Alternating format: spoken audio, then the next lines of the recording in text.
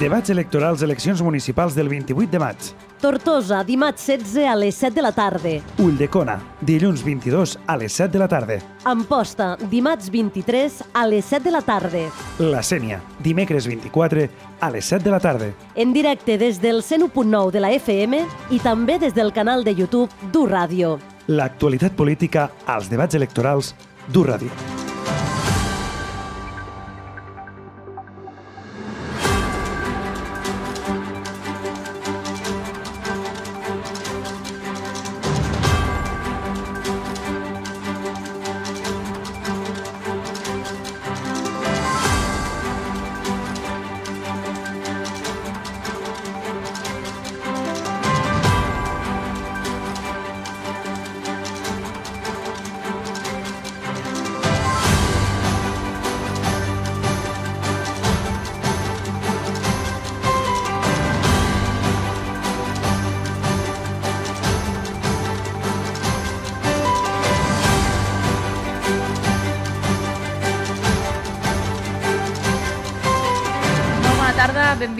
Benvingudes i benvinguts al debat electoral de Tortosa. Gràcies per acompanyar-nos. Un debat que per primera vegada és en directe i en què participen els cinc caps de llista de les forces que concorren a les eleccions municipals del proper dia 28 aquí a Tortosa i que actualment tenen representació al consistori. Aquest debat el moderem el meu company Josep Pitarc i qui us parla, Sílvia Alarcón, comptarà també amb la participació dels companys periodistes Òscar Messeguer, Lídia Lavèrnia, Núria Mora i David Benito. Un debat que està organitzat per la demarcació de les Terres de l'Ebre del Col·legi de Periodistes i amb el suport logístic de l'Ajuntament de Tortosa, realitzat per Canal 21 Ebre. El debat també compta amb la participació de pràcticament tots els mitjans de comunicació de les Terres de l'Ebre. Saludem, per tant, als espectadors de Canal 21 Ebre i Canal Terres de l'Ebre i als oients de Ràdio Ebre, Cadena Ser i les emissores municipals com Ràdio Tortosa, U Ràdio, 21 Ràdio i Imagina Ràdio. També ens adrecem als lectors i lectores del Setmanari L'Ebre, del Diari de Tarragona i del Cop d'Ull. El debat també el poden seguir a través dels digitals i de les xarxes socials amb l'etiqueta Tortosa 28M. El nostre company David Benito farà seguiment de les opinions recollides a través d'aquest hashtag. Per tant, els animem a la participació, a comentar durant al llarg del debat a través de Twitter. Per últim, el debat també el podem veure a través del canal de YouTube de Canal 21 Ebre, així com a la plataforma OTT de la xarxa de televisions locals de Catalunya. En primer lloc, eh, saludarem a la candidata i als candidats eh, que participen en este debat. Saludem a la senyora Meritxell Roger, candidata de Junts per Tortosa. Senyora Roger, bona tarda. Bona tarda. Saludem també al senyor Jordi Jordan, candidat de Movem Tortosa PSC. Molt bona tarda. Molt bona tarda. Saludem al senyor Xavier Faura, candidat d'Esquerra a Tortosa. Bona tarda. Bona tarda. Igualment el senyor Miquel Albacar, candidat de Ciutadans a Tortosa. Molt bona tarda. Molt bona tarda. I finalment el senyor Sergi Arnau, candidat de la CUP a Tortosa. Bona tarda. Bona tarda. Un cop presentat els participants en aquest debat i abans de començar, els expliquem la dinàmica que seguirem avui. Un debat d'una hora i mitja amb la voluntat que sigui àgil, dinàmic i d'interès. En primer lloc, adreçarem una pregunta a cadascun dels candidats que hauran de respondre en un temps màxim d'un minut i mig. Els preguem que s'ajusten els tempos de cara a un correcte desenvolupament del debat i també amb la vinentesa que dels moderadors ens reservem el dret de poder tallar la intervenció d'alguns dels participants en cas de que no es complisquen rigorosament amb allò que se'ls ha estipulat. Després d'aquesta primera pregunta, els periodistes formularan qüestions sobre diferents temes eh, d'interès per la ciutat i que els diferents partits també han plasmat als seus programes electorals. Tindran un minut per contestar, un minut per rèplica i 30 segons per la contrarèplica. Els insistim, eh, com ha fet el meu company, a que compleixin amb els temps establerts. També formularem preguntes directes sobre qüestions més concretes que exigiran que les respostes, per tant, també siguin breus.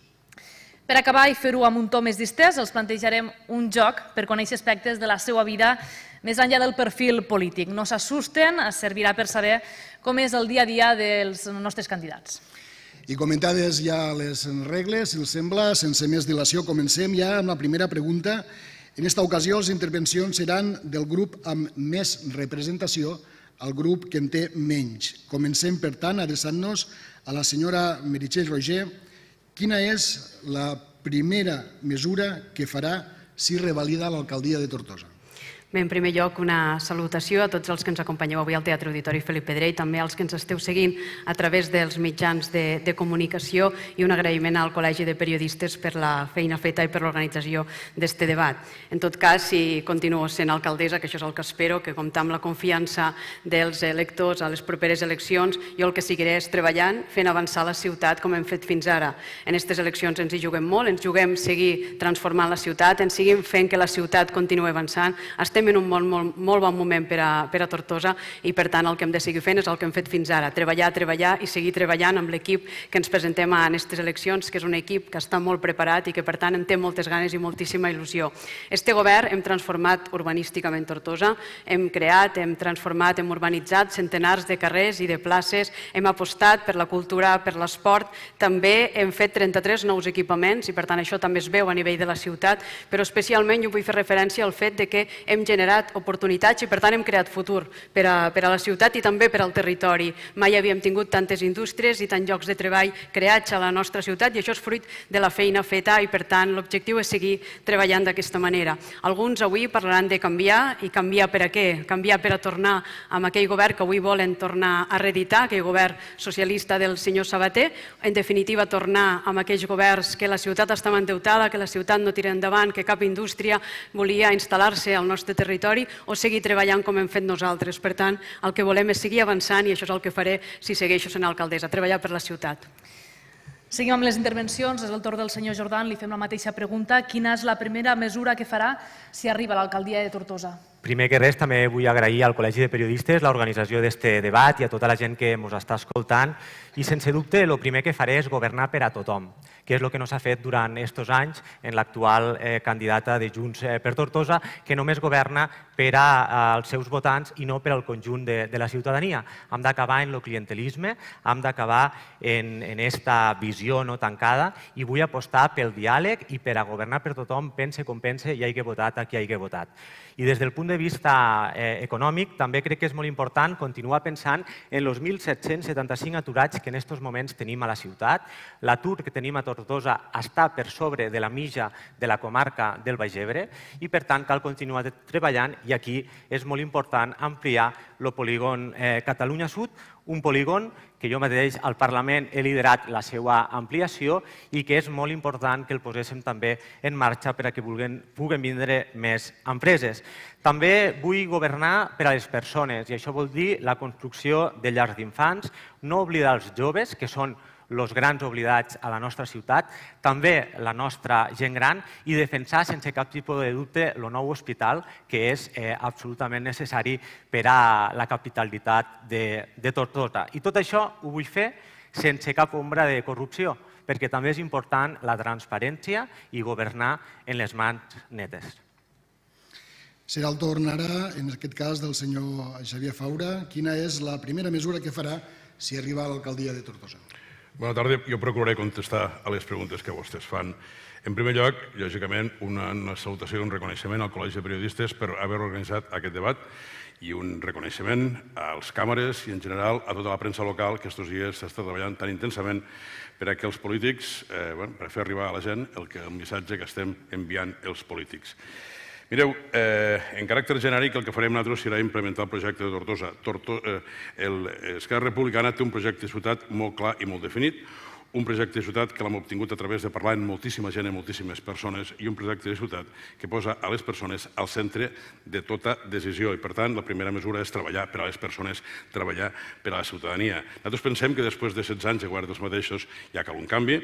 La, la senyora Roger no ho ve així, però realment l'autèntic canvi és, el representa Esquerra Republicana. Esquerra Republicana és la mirada nova que arribarà a l'Ajuntament i és la mirada nova que és, eh, necessàriament és l'única mirada nova en la mesura en què la senyora Roger fins ara ha estat governant amb el PSC i, per tant, avui en dia el senyor Jordan és el representant del PSC. Però el canvi no només el plantegem en aquesta manera de governar, sinó també amb, amb, el, amb el lideratge, com s'està exercint el lideratge.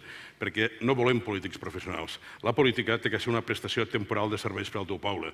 I tant el senyor Jordan com el senyor Roger porten molts, molts anys en política i creiem que això és perniciós.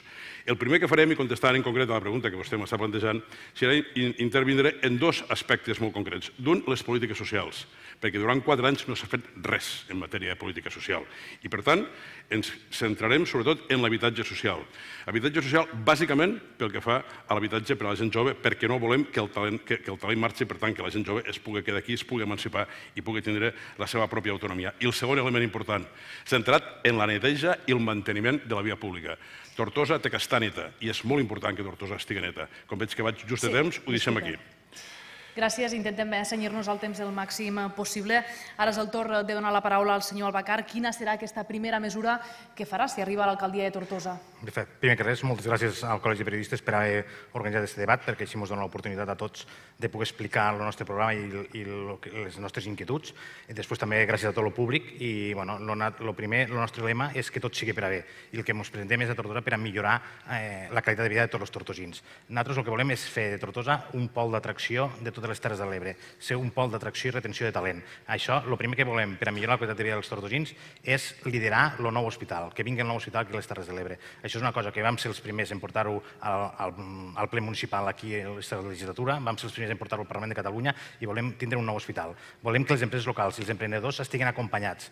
Molts empreses i, i petits comerciants se senten desemparats quan tenen que fer tràmits administratius. Creem una persona per assessorar-los i ajudar-los dins de l'Ajuntament i a poder fer tots els tràmits administratius perquè puguen tindre èxit.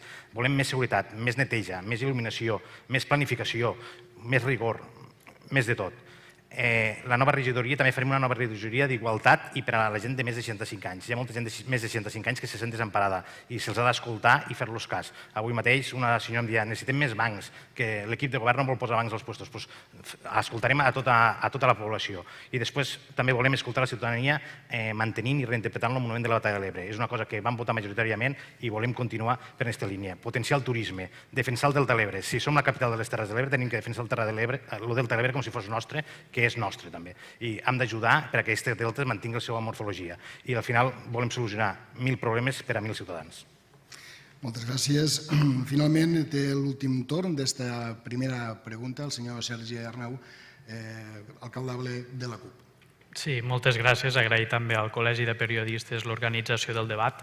Bé, nosaltres no ens volem autoenganyar, possiblement no tindrem l'alcaldia de Tortosa, però sí que estem segures que tindrem prou força per condicionar un canvi de govern a la ciutat i, per altra banda, i el més important, condicionar les polítiques que s'acabaran portant a terme. Ens presentem en un programa en més de 700 propostes que pretén ser un full de ruta per a la ciutat per als pròxims 12 anys, un projecte polític que vol ser una esmena de, a la totalitat dels 16 anys de govern convergent, però que no, no l'han portat a terme sols, que han tingut en dos mandats el suport d'Esquerra Republicana i en l'últim mandat el, el suport del Partit Socialista, i creiem fermament que ara és el moment de capgirar la política tortosina, donar resposta a la triple crisi que estem patint, una crisi econòmica, social i climàtica, i fer-ho des de polítiques d'esquerres, en una aposta clara per polítiques d'habitatge, d'inversió social, en polítiques comunitàries que fomenten la, la cohesió social, en, en una ciutat més amable per a les persones, en equilibri en, entre els barris, en la reversió de totes les privatitzacions dels serveis públics que s'han portat a terme eh, des dels governs municipals, la descarbonització de la ciutat en matèria energètica, però també en matèria de mobilitat, i una ciutat eh, feminista i antiracista. S'ha acabat? Sí.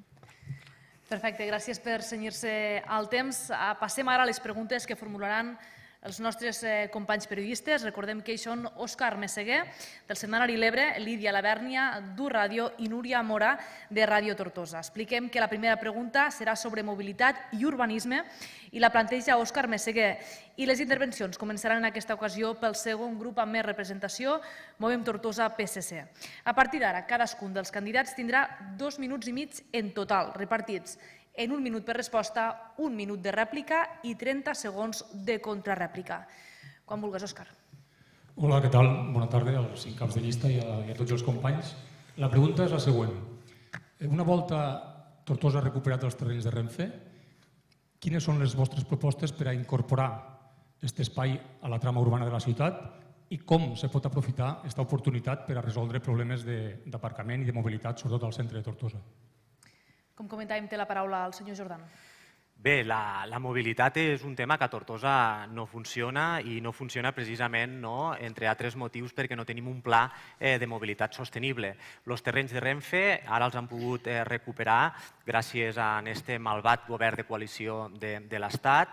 I ara eh, el que presentem no, des de la nostra des de la nostra coalició és eh, aprofitar de forma parcial aquests terrenys per a fer aparcaments en superfície i treballar eh, de manera definitiva per a fer un aparcament soterrat en els propers anys eh, i a dalt una zona verda que connecte totes les eh, l'Eixample i el Temple i, per tant, obrir també la ciutat del Riu amb una proposta també de zona d'oci que tenim a, a l'Avinguda de, de Lleida.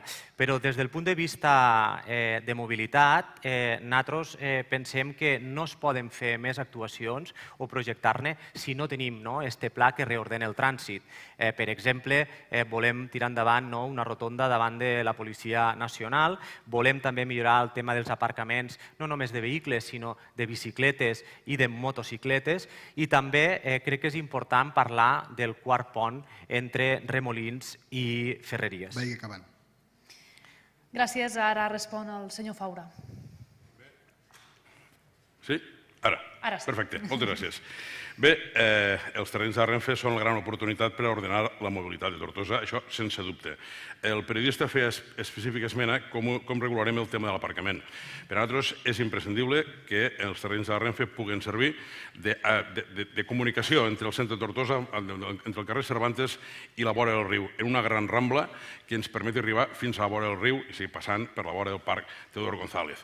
Però és també molt important que hi hagi unes places d'aparcament soterrades per què, lògicament, la gent que vulgui anar a exercir, a, a comprar Tortosa, que vulgui anar als serveis, diguem que estan al centre de la ciutat, tingui un aparcament adequat penseu que en totes les actuacions urbanístiques que s'han fet fins ara, dia el senyor Jordan, és que no hi ha un pla de mobilitat sostenible. No, no, és que no hi ha pla de mobilitat. No hi ha hagut pla de mobilitat i això ha suposat un estrangulament que el que han fet ha sigut posar-nos en una situació dificultosa eh, com a ciutat de comerç. No? Per tant, eh, el primer que ha de fer és un aparcament soterrat, però a la vegada també aprofitar la superfície per poder fer esta, esta gran passeig, esta gran rambla que ens porti fins a vora del riu, però tenim que contemplar també un petit espai, i lògicament un gran espai, per a equipaments de, de naturalesa social, pública, cultural, és la millor manera de poder donar un sentit a aquests terrenys de la Renfe, reordenar la circulació. Gràcies. És el torn ara del senyor Albacar, candidat i Ciutadans. Moltes gràcies.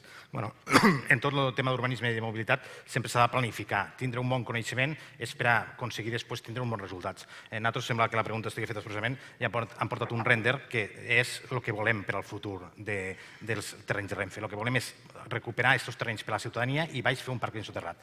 Ah, llavors, això s'ha de fer acompanyat d'un bon pla de mobilitat i després d'un pla urbanístic adequat.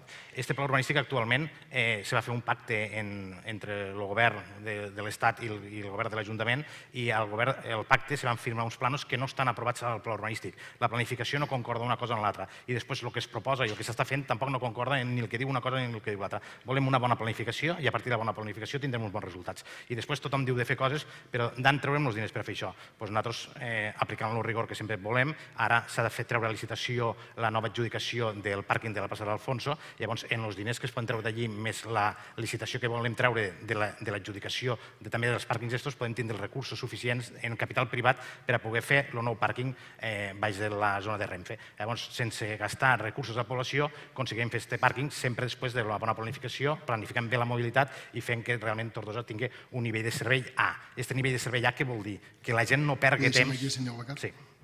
Gràcies, senyor Albacar. És el torn ara del senyor Arnau, candidat de la CUP. Gràcies. Bé, nosaltres els terrenys de la Renfe eh, pretenem que se destinen 100% a un ús social, en zones verdes, equipaments esportius, equipaments culturals, però tot això ha d'estar vinculat a, a, un, a un pla de mobilitat. El pla de mobilitat que tenim a la ciutat data de 2007 i s'ha d'adaptar a la situació d'emergència climàtica que estem vivint ara i als reptes que, que se'n deriven. Al contrari del que comenta el senyor Faura d'introduir els cotxes a, al centre de la ciutat, nosaltres apostem per enfortir els aparcaments dissuasoris que estan ja funcionant, per crear zones verdes on només puguen aparcar els veïns i les veïnes a tots els barris i, i fer una ciutat equilibrada en quant a l'urbanisme. Tenim una ciutat segregada que ha patit un, un urbanisme racista i classista per part dels governs municipals en grans inversions en barris comercials i barris turístics i en detriment d'altres barris com Ferreries o Remolins. Cal trobar l'equilibri entre els barris per tal, urbanísticament per tal d'afavorir-ne la cohesió social.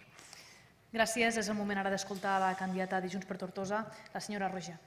Sí, abans de, de començar amb el, que, amb el que farem amb els terrenys d'Arif i amb la fita que hem aconseguit este mandat, recordar-los a tots, eh, en primer lloc al senyor Faura, que d'estos governs, d'este govern que, que portem a, a terme, d'estos anys de govern set, ha estat Esquerra Republicana al govern i, per tant, també ha estat la regidoria de serveis socials en mans d'Esquerra Republicana i s'hi han fet molt bona feina i som referents a l'Estat en polítiques socials. I també el primer que vam fer quan va entrar este govern va ser fer el pla de mobilitat, que també el portava en aquell moment un regidor d'Esquerra Republicana, per tant, pla de mobilitat n'hi ha i en aquests moments està adjudicant-se el segon. Si fostéssim més atents al que els expliquem amb les diferents comissions, sabrien que està en aquests moments en adjudicació al pla de mobilitat. Per tant, no es preocupen que això no els ho caldrà fer a ningú. De fet, ho continuarem seguint fent nosaltres. Però, en definitiva, més enllà d'això, dir-los que pel que fa als terrenys de DIF, este mandat, este govern hem aconseguit una fita històrica, que és estat recuperar els terrenys de DIF, els terrenys de Renfe per a la ciutat. I això ho hem fet aconseguint una reducció importantíssima d'aquell pacte que van acordar el govern tripartit, que avui representa el senyor Jordan. De fet, en aquell moment ell era càrrec de confiança d'aquest govern, i hem aconseguit reduir un 77% del preu que hi havia en aquell moment. I, per tant, hem estalviat als tortosins i tortosiners 3 milions d'euros. Per tant, ho hem fet possible i el que volem és construir allà habitatges, zones verdes i, per tant, connectar eh, tots els terrenys i també continuar amb els aparcaments en superfície que hem fet, que suposarà tindre 400 nous aparcaments al centre de la ciutat. Podem continuar parlant de mobilitat i urbanisme. En aquest cas, eh, recordem que encetem el torn de rèplica, que també és d'un minut. Anirem en ordre de que els candidats ens ho demanen. No sé qui vol aquest torn de rèplica. El demana en senyor, primer... Senyor Faura, el demana sí, Xavier Faura. primer, després senyor Jordan i senyor Albacar. Sí, en primer lloc, eh, per comentar-li a la senyora alcaldessa, senyora Roger, que no hi ha pla de mobilitat en atenció a les obres que està fent ara. És a dir, està creant un pla de mobilitat després de que s'han executat les obres. Per tant, eh, la gent no ha pogut aparcar, ha tingut molèsties i tot això ha passat perquè no s'ha previst.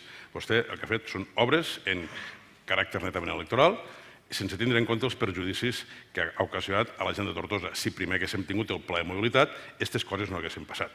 En tot cas, eh, dir que, que nosaltres el que volem, els terrenys de la Renfe, lògicament, ja els hi dia, per poder fer una gran rambla que arribi a estar a la vora del riu, perquè a la vora del riu tenim el projecte que portem ja des de fa quatre anys, que és obrir Tortosa al riu, que és un nou sistema de mobilitat per a la ciutat que pot anar des de la platja de la Xiquina fins a Jesús, vorejant el riu i, per tant, una manera molt saludable de poder comunicar els diferents barris de la ciutat. Gràcies. És el torn ara del senyor Jordan. Sí, no, també en quant al senyor Faura, no, que abans ha dit que ell era l'única garantia de canvi, és evident que durant 16 anys de governs convergents el partit del senyor Faura eh, ha estat governant 8, si no m'equivoco malament, però és que ell fins a quatre vegades ha negat la possibilitat d'un canvi. I a més a més, eh, ara tampoc descarta governar la senyora Roger, per tant, no sé quin canvi és este que vol representar el senyor Faura. En tot cas, en relació al tema de la mobilitat, és evident que no tenim un pla de mobilitat, que s'està improvisant. L'últim exemple el podem dir d'estos dies. Al carrer Pauls a Ferreries se va pintar tot el carrer i al cap d'uns dies se va asfaltar i ara s'ha de tornar a pintar. Electoralisme pur i dur de la senyora Roger.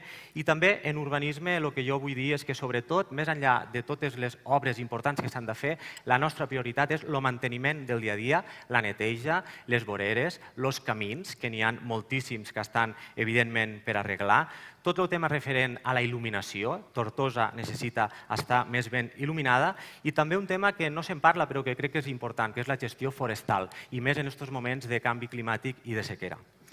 Havia demanat també la paraula al senyor Albacar en aquest torn de rèplica. Sí. Bueno, una cosa que deia el senyor de la CUP, nosaltres sí que veiem que falta un equilibri entre tots els barris. Llavors, un altre pàrquing soterrat que proposem també és el pàrquing a, a plaça de l'Estadi, a l'antiga plaça Joaquim Bau, perquè veiem que és necessari retornar també els terrenys en superfície que hi ha eh, destinats als cotxes, de, de, dedicar-ho a les persones. Després ja comencen tots els candidats a retraure les coses en uns als altres i jo el que, el que veig és que nosaltres estem aquí per ajudar i per a, i per a treure el millor possible de tots i per a fer el millor possible per a la ciutat. Llavors, el, el meu cas és intentarem fer govern, liderar-lo i que tots els partits ens puguin ajudar per a fer un, un govern de concentració i que si féssim, cada algú aporti el talent que té per a poder fer una ciutat millor. Això, eh, en el cas de els resultats que siguen, nosaltres anem sempre en aquesta línia. En qui estigui, l'ajudarem a que pugui fer una millor ciutat de Tortosa, que és el que nosaltres volem. Volem millorar Tortosa, no volem baralles ni recordar el que ha passat abans i tot això. El que volem és mirar el futur, ajudar Tortosa i ajudar a governar i que ens ajuden tots a governar nosaltres també. Havia demanat també torn de rèplica el senyor Arnau. Sí, gràcies. Bé, nosaltres ens autodescartem pel govern de concentració que acaba de proposar. En relació al senyor Faura, eh, de la inacció que parlava en la primera intervenció en matèria de, de polítiques socials, no és nou d'ara, diguéssim, les, les polítiques socials de les quals vostès han, han, han ostentat la regidoria eh, venen, la manca de polítiques venen de, de fa vuit anys, eh, quan la senyora Vinya era regidora de, de serveis socials. En quant al model de ciutat, també són responsables els partits que en algun moment han donat suport a, a la ciutat que tenim ara i que pareix que no, que no és vàlida, com són no? Esquerra Republicana i, i el PSC ara aquí representat pel senyor Jordan. Cal adaptar la ciutat als reptes del segle XXI, tal com proposàvem anteriorment, a través de la descarbonització. Cal eh, ampliar els horitzons de la gestió urbana en quant a la gestió forestal i la prevenció d'incendis, que Tortosa no disposa actualment d'un pla de prevenció d'incendis validat per la Generalitat, i se m'ha acabat el temps. Gràcies. Gràcies. Ha demanat també el torn de rèplica la senyora Roger. D'entrada penso que no, encara no, ara d'ara no saben el que és un pla de mobilitat, però un pla de mobilitat és en termes general el que s'aplica a tota la ciutat, com el que teníem i com el que tindrem actualitzat al 2023, però a més a més cada obra que s'inicia compta amb un pla per a aquella obra concreta. Jo ja sé que ni el senyor Faura ni el senyor Jordan voldrien que es fes ni la plaça de l'Ajuntament, ni que es petonitzés tot l'entorn, ni que es fes al carrer Cervantes. Això ja ho sabem i després no els hem tornat a escoltar més, però en definitiva el que fem és poder pensar en aquesta mobilitat sostenible, que també són més carrils bicis, més quilòmetres quilòmetres de carrils bicis a la ciutat. Ho hem fet al Cervantes, ho hem fet al carrer Barcelona, eh, ho hem fet també ara connectant el poble del Reguers i ho farem amb el poble de Vinallop i vull recordar que este govern ens vam trobar 200 metres de, 200 metres de, de, de carril bici i ara en tenim quilòmetres i quilòmetres per tal de fer aquesta mobilitat sostenible i seguir amb aquests aparcaments que tenim a, a nivell dissuasori. Este govern hem fet pràcticament 1.000 aparcaments dissuasoris a diferents llocs de la ciutat, 400 soterrats, ara en fem 400 més i tenim el projecte projecte, com sabem i com hem explicat al nostre programa, que vam ser els primers, per cert, de presentar-lo, en crearem encara més tant al barri de Ferreries com al barri del Temple. Encetem ara, per acabar aquest bloc, ja la contrarèplica. Recordem que són 30 segons i ha demanat per ara eh, el torn de paraula al senyor Jordan. També demana després el senyor Faura. Per ara comencem amb el senyor Jordan. Sí, contestant-li a la senyora Roger, el que volem és que es facin bé les coses i els carrils bicis a Tortosa estan totalment desconnectats i és evident que, que no estan eh, ben fets i això és el que cal millorar entre altres coses. I després me dirigixo eh, a aquesta banda d'aquí, sobretot, no, que estan dient tot el rato no, de que jo sóc el candidat del Partit Socialista. I, i ho dic eh, perquè vostès saben perfectament que jo sóc el candidat d'una coalició que és Movem Tortosa i el Partit Socialista i els, demana, els demanaria per respecte a les dues formacions polítiques que eh, me nombren com el que sóc, el candidat de Movem Tortosa i el Partit eh, Socialista perquè penso que també demostra no, el tarannà de cadascú si respecta o no el nom i les formacions polítiques de les diferents candidatures. Escoltem ara la contrarèplica del senyor Faura.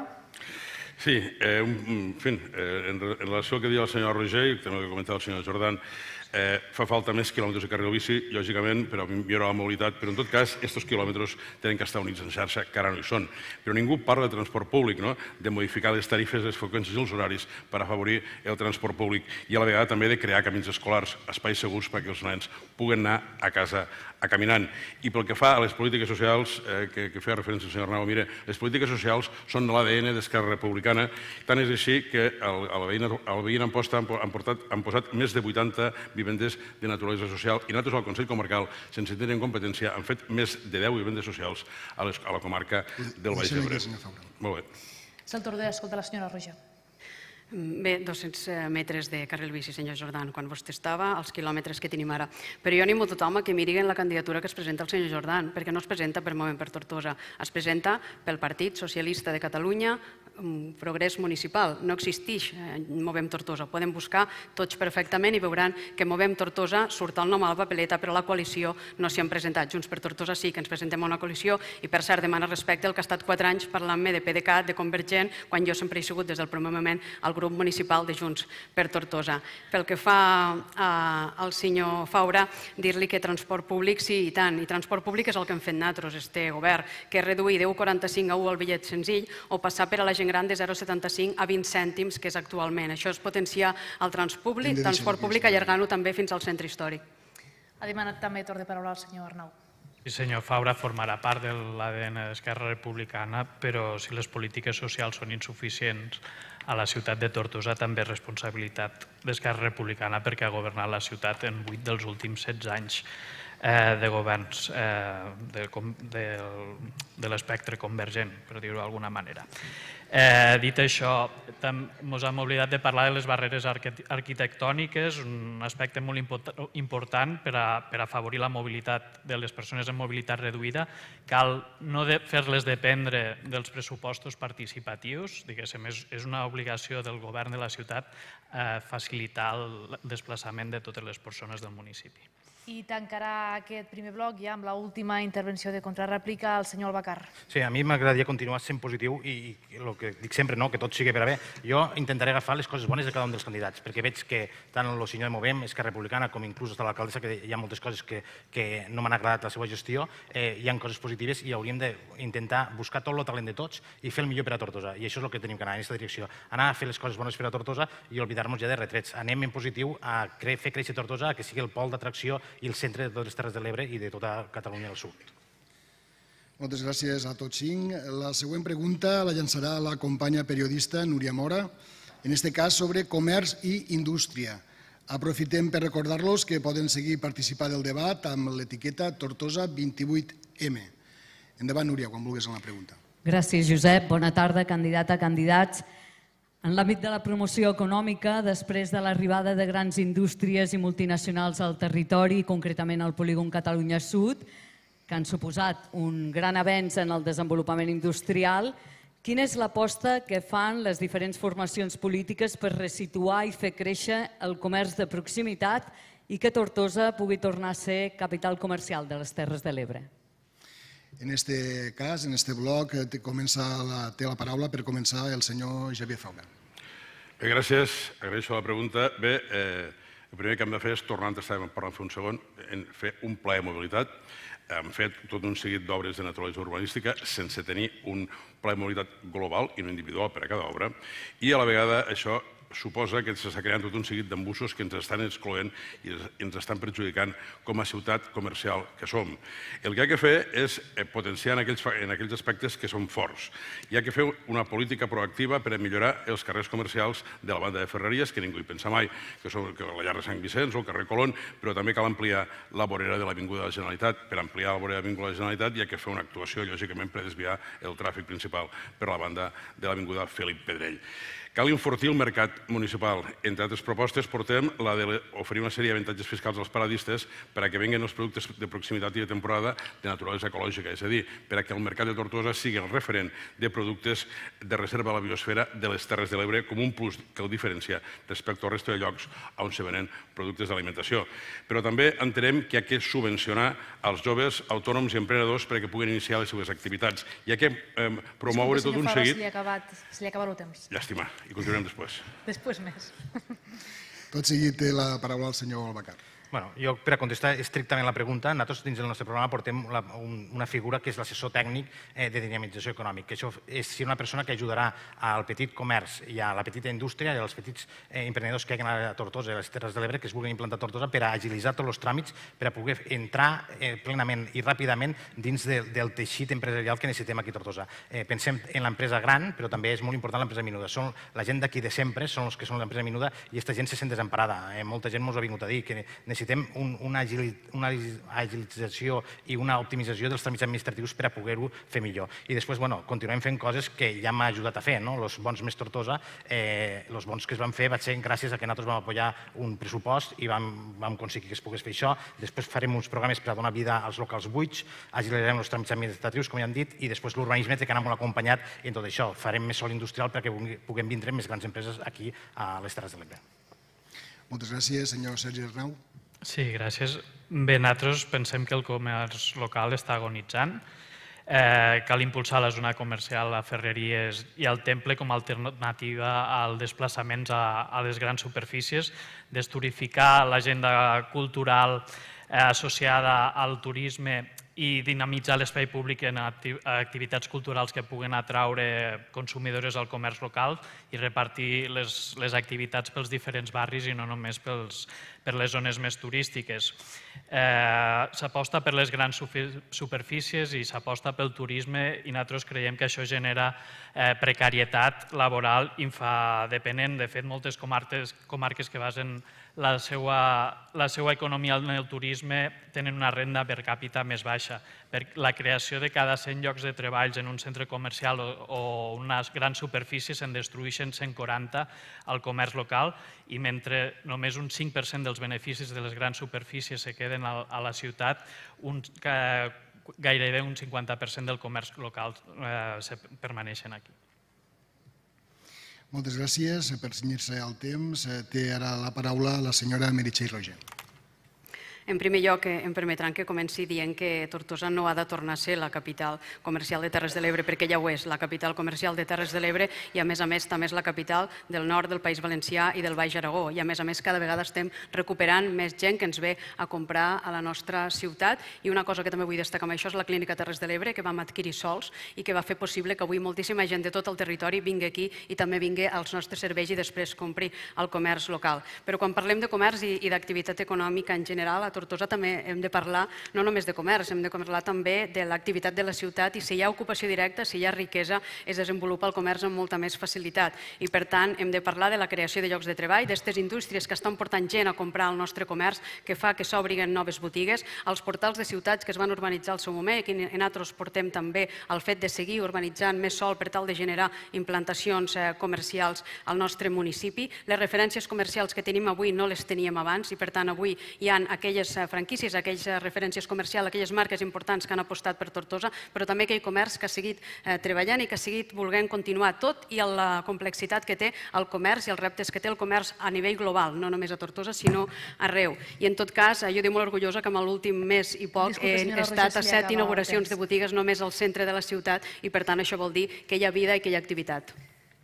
I per acabar aquesta primera intervenció i abans del torn de rèplica té la paraula el senyor Jordi Jordan. Sí, primer que res, un apunt a la senyora Roger, que abans ha mentit quan ha dit que la meva coalició no és una coalició, és una coalició jurídica, com vostè ha fet amb el senyor Puigdemont, i ja pot dir que no i ho pot comprovar qualsevol. Dit això, en relació al tema de comerç, evidentment Tortosa ha de reforçar molt la seva aposta comercial, és la nostra identitat, el comerç, des del temps eh, immemorials, i nosaltres tenim propostes eh, molt concretes. La primera és, volem revitalitzar el comerç del centre de la ciutat, de carrers com el carrer Sant Blai, del carrer eh, d'en Carbó, també, evidentment, de Ferreries i del Temple, perquè en aquests eh, carrers eh, el que estem notant és que moltes vegades s'estan tancant botigues i tenim eh, projectes eh, com este, no, que ja van presentar el seu dia de locals buits, per a incentivar que precisament se tornen a obrir eh, botigues o que se n'obriguen més, com està fent Reus, com està fent Tarragona i com està fent eh, altres ciutats. El mateix en quant a les bonificacions als aparcaments. Tenim tres aparcaments soterrats que pensem que s'haurien d'utilitzar millor,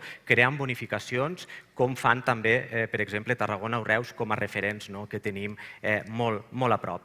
Després, eh, evidentment, eh, apostem sí, per una, per una zona d'oci, i acabo, a la zona eh, de l'Avinguda de Lleida, perquè pensem que la gent ha de vindre no només al metge, sinó a xalar, i això vol dir també acabar comprant. Encetem el torn de rèplica perquè fa en este punt. Eh, algú que el vulgui encetar? En tot cas, si no lo demana ningú la paraula, seguirem en l'ordre que havíem establert d'inici, per tant, el senyor Faura. Molt bé. Mira, eh, jo com us deia abans, eh, perquè ens hem quedat eh, a, meitat de l'exposició, el que tenim que fer en tot cas és modificar la normativa urbanística d'activitat per, per afavorir la creació de, nous, de, nous, de noves activitats a llocs on tradicionalment hi ha hagut activitat. I m'estic pensant, per exemple, en el carrer Sant Blai. No? Però també hem de ser prou creatius com per a que la gent que ve al, al, als comerços del portal de Tortosa fer-la entrar dins al centre de la ciutat. Però encara és més important ser creatius per crear noves activitats al cor de la ciutat, perquè si no portem noves activitats al cor de la ciutat, això se'ns està desunflant. I per tant, nosaltres pensem, a diferència que pensa la senyora Roger, que som més ambiciosos. No hem gestionat prou bé la capitalitat de les Terres de l'Ebre. Ser capital no vol dir ser la capital administrativa, vol ser el pol d'atracció d'inversions, vol dir ser el pol de concentració d'activitat econòmica que aquests anys s'ha anat perdent. Té la paraula el senyor Albacar. Sí, bueno, nosaltres el que volem és precisament és això, el pol d'atracció perquè el comerç i la indústria millore. Este pol d'atracció es aconsegueix en infraestructures. Les infraestructures que nosaltres proposem dins del nostre programa és el desdoblament de la C12 i el quart pont. Creiem que són dues infraestructures vitals per a vertebrar totes les Terres de l'Ebre i que Tortosa complisca la seva funció de capitalitat eh, purament. Eh, són infraestructures que són molt necessàries, que són molt reivindicades i el quart pont ja fa més de 20 anys que s'està parlant i jo crec que ara és el moment de posar-nos les piles, liderar este canvi i liderar que es pugui aconseguir que es faci el pont entre la la carretera de la Diputació i la carretera de la Generalitat de Catalunya i es faci un pont que servisqui per a realment fer créixer Tortosa i fer-la ampliar. Senyor Arnau. Sí, eh, bé, en relació al que comentava l'alcalde, a la generació d'ocupació i riquesa no ve només o no ve a través de la implantació de grans marques comercials a, a la ciutat de Tortosa, ve del, del tipus de treball que, que genera i si és de qualitat o no. Sense anar més lluny, per exemple, l'Ajuntament de Tortosa en l'externalització i la privatització de tots els serveis públics està posant, eh, sent podríem dir, la major empresa en contractació de, de la ciutat en mans de multinacionals eh, centenars de persones que s'ocupen d'una manera precària que si estiguessin funcionant en, sota un contracte públic eh, no estarien en aquestes condicions. Creiem, per altra banda, que el, que el model comercial i turístic que s'estava impulsant a la ciutat és perillós perquè pot generar aquesta precarietat en els llocs de treball i basar l'economia en, un, en, una, en, en un projecte que no està arrelat al territori com podria... No, perdó. Gràcies. Senyora Roger. Sí, eh, animo a tothom a que vegi la Junta Electoral i veiem qui es presenta el senyor Jordan, es presenta amb el Partit Socialista. Jo sí que em presento en Junts per Tortosa en una coalició. Animo els animo tots, vagin a mirar-ho i sabran perfectament que movem Tortosa en aquestes eleccions. No es presenta Junts per Tortosa, sí que es presenta en aquestes eleccions. Però en tot cas, eh, dir-los que eh, la riquesa es genera si hi ha llocs de treball i la gent pot comprar i pot anar als diferents comerços. Miren com estava Tortosa fa uns anys, miren com estan ara, miren quins comerços hi havia, quins comerços hi ha ara. Però en tot cas, 350 milions d'inversió de Cronospan en aquests moments, 150 més previstos d'endavant, 14 milions per Floret, 25 milions de, de Lucta. Tot això suposa llocs de treball. Només 800 persones han estat treballant a Cronospan mentre es feia la construcció de l'obra. Això ha fet que les mateixes botigues ens facin arribar que més gent està comprant a Tortosa i que més gent està vivint aquí i treballant aquí. Per tant, això ens suposa més riquesa. I a més a més d'això, per tal de poder generar, després d'haver arranjat i urbanitzat el centre històric, el que fem també és generar, i portem al nostre programa, poder tindre una línia per a nous emprenedors, per a noves activitats al centre històric. En definitiva, és ajudar al comerç de la mà de la Federació de Comerç i Serveis amb diferents campanyes, com la de la pista de gel, que per cert tots voten en contra, o com les campanyes que hem portat a terme dels bons Tortosa i els ajuts que vam fer també en moment de la pandèmia, perquè vull recordar que hem tingut una pandèmia i que hem estat sols treballant.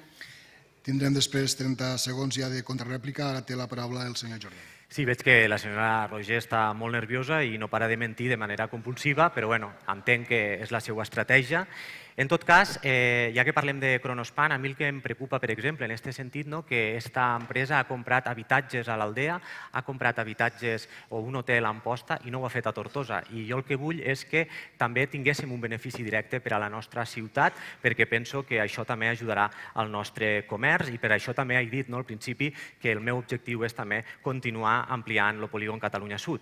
Una altra reclamació que també compartim amb la Càmera de Comerç és la creació d'un centre de digitalització ocasió per a les nostres empreses, per als nostres autònoms, un Fab Lab, que al territori només n'hi ha un i pensem que Tortosa mereix tindre'n un altre i això també generaria modernitzar la nostra economia. I finalment, i com he dit abans, eh, molt important generar eh, activitats eh, culturals i d'oci al voltant del centre i de tots els barris per a que la gent que vingui a Tortosa vingui també a xalar i no, com algunes vegades em diuen, que només venen eh, al metge. Bé, ara sí, com els havia anunciat, tenim els 30 eh, segons de contrarèplica. Com ningú ha demanat la paraula, continuem amb, el mateix ordre eh, del que havíem començat aquesta, este torn d'intervenció. Per tant, torna a tindre 30 segons el senyor Fabra. Moltes gràcies. Mira, jo breument per recordar-li a tothom que si ha vingut a Cronospan i totes aquestes empreses eh, que s'han referit, els, la gent que està aquí a la, en aquesta sala, sí senyora Roger, no cal que em miri així, ha sigut perquè hi ha sol industrial i el sol industrial proporciona l'Incasol. I el que ha fet Cronospan ha sigut vindre per qui hi havia aquest sol industrial i en aquests moments la Generalitat de Catalunya està promovent encara més sol industrial, està promovent la creació d'una estació intermodal, d'una estació de mercaderies i el tercer, i el tercer carril de l'autopista precisament per a afavorir que vinguin la inversió d'empreses. El que ha fet l'Ajuntament l'Ajuntament de Tortosa és tramitar la documentació d'una manera molt, molt, eh, molta celeritat i molta mobilitat, però han pogut vindre perquè hi havia sol industrial i el sol industrial el proporciona l'Incasol. Moltes gràcies, senyor Faura. En aquest cas té la paraula el senyor Albacar. Moltes gràcies. Bueno, nosaltres per a millorar el comerç, el que ens diu la gent del comerç del centre és que està que millorar molt la neteja. Estem en plagues de cucaratges contínues, que és una problemàtica per a la gent del comerç del centre. Eh, després estan els coloms, que també eh, fan molta brutícia i també s'han de controlar i intentar millorar tota la part de la neteja, que és un, una cosa que és un problema real aquí a Tortosa. La gent pel carrer ens ho diu, més enlluminat, més manteniment i reducció de barreres arquitectòniques i així la gent podrà anar plàcidament a aprofitar el comerç tortosí. Moltes gràcies. Té la paraula ara el senyor Arnau. Sí, gràcies. Bé, nosaltres considerem positives les implantacions que hi ha hagut darrerament a nivell industrial, però insistim que no, cal, no pot ser el model perquè hi ha un risc real de deslocalització, com va passar en l'ALER, que quan s'ha trobat a tres punts de producció més, més econòmica eh, marxen i, i tenim un model, model econòmic basat en, en les multinacionals. I molt breument, en relació a la pista de gel, pot insistir tot el que vulgui, la proposta era una pista de gel alternativa. És massa intel·ligent vostè per utilitzar la mentida com a eina de debat polític, senyora alcaldessa. Senyora Roger. En tot cas, al senyor Jordan el que li diria és que si Amposta es va comprar un hotel és perquè aquí els tenim plens per sol de turistes i per això no hi havia cap hotel en venda a nivell de la nostra ciutat, cosa que sí que passava al municipi veí d'Amposta. També li recordo que més enllà de la campanya electoral està bé que vagin als puestos i veran que la gent xala, i xala tot l'any, no només 15 dies de campanya, perquè si veuen al Teatre Auditori Felip Pedrell amb la programació que tenim està ple. I quan s'acaba el Teatre Auditori Felip Pedrell la programació van tots als restaurants i la ciutat està plena d'activitat, però com només van els 15 dies de campanya doncs no saben que la gent no només ve el metge Tortosa, sinó que també xala Tortosa. I pel que fa eh, al senyor Faura, que abans no li he dit, però ara li dic, jo sé que el seu partit, la capital, no és Tortosa, però per a la gent de Terres de l'Ebre, la capital és del comerç i de tot Tortosa. Se li acaba el temps, senyora Roger. Encara este, estos 30 segons, senyor Jordan. Sí, no, a la senyora Roger el que li diria que pregunte als joves a on van a xalar que se'n van a la Ràpita, que se'n van a Amposta i que diuen que aquí no hi ha res. Però clar, vostè sempre viu a una realitat diferent. Per tant, nosaltres el que estem dient és que per a millorar el comerç el que necessitem és generar més activitats d'oci i més culturals. I per cert, no adelantar-les totes abans de les eleccions, que és el que ha fet durant, vostè durant aquestes últimes setmanes, perquè si li veu el llautó donarà llum. I l'última cosa que volia dir és que també volem fer una oficina del talent per a vincular les, necessita la, les necessitats dels empresaris en eh, l'oferta educativa perquè és una qüestió que també s'ha de resoldre i que aquí a Terres de l'Ebre a hores d'ara encara no ho han fet.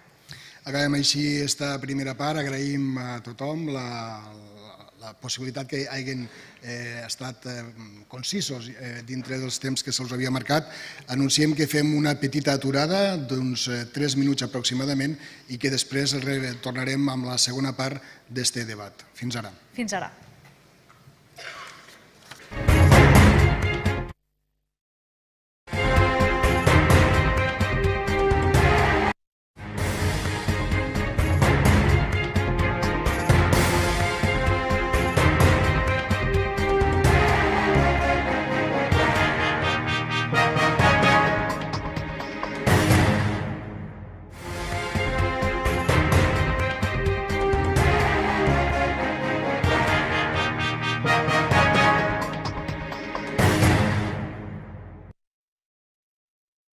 Molt bones, tornem eh, després d'esta petita pausa que ens ha servit per eh, beure aigua, agafar forces i reemprendre aquesta segona part del debat electoral eh, de Tortosa, en què anem a parlar d'altres propostes també per a la ciutat. Abans, però, voldríem també fer-lo saber què és el que ara mateix està coent a les xarxes socials a propòsit d'aquest debat, que recordem poden seguir i participar amb l'etiqueta Tortosa 28M. El nostre company David Benito ens informa. Hola, bona tarda. Bé, sembla que qui més fa servir aquestes xarxes socials amb el hashtag que hem triat, eh, Tortosa 28M, són els mateixos partits polítics que estan avui aquí. També alguns apunten que tot això sembla a estones un pati d'una escola en, en tantes baralles.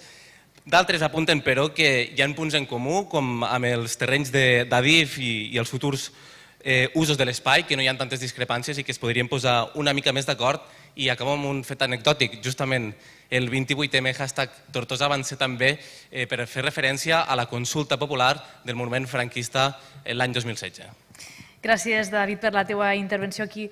Dels candidats deien que tampoc hi havia tanta picabaralla. A veure aquesta segona part com, com va. Ara sí, continuem, com dèiem, amb el tercer bloc d'este debat i seguim amb les preguntes sobre propostes destacades a la ciutat. En esta ocasió serà sobre habitatge. Recordem un cop més el temps que té cadascú i també els tornem a demanar que senyisquen al màxim aquest temps.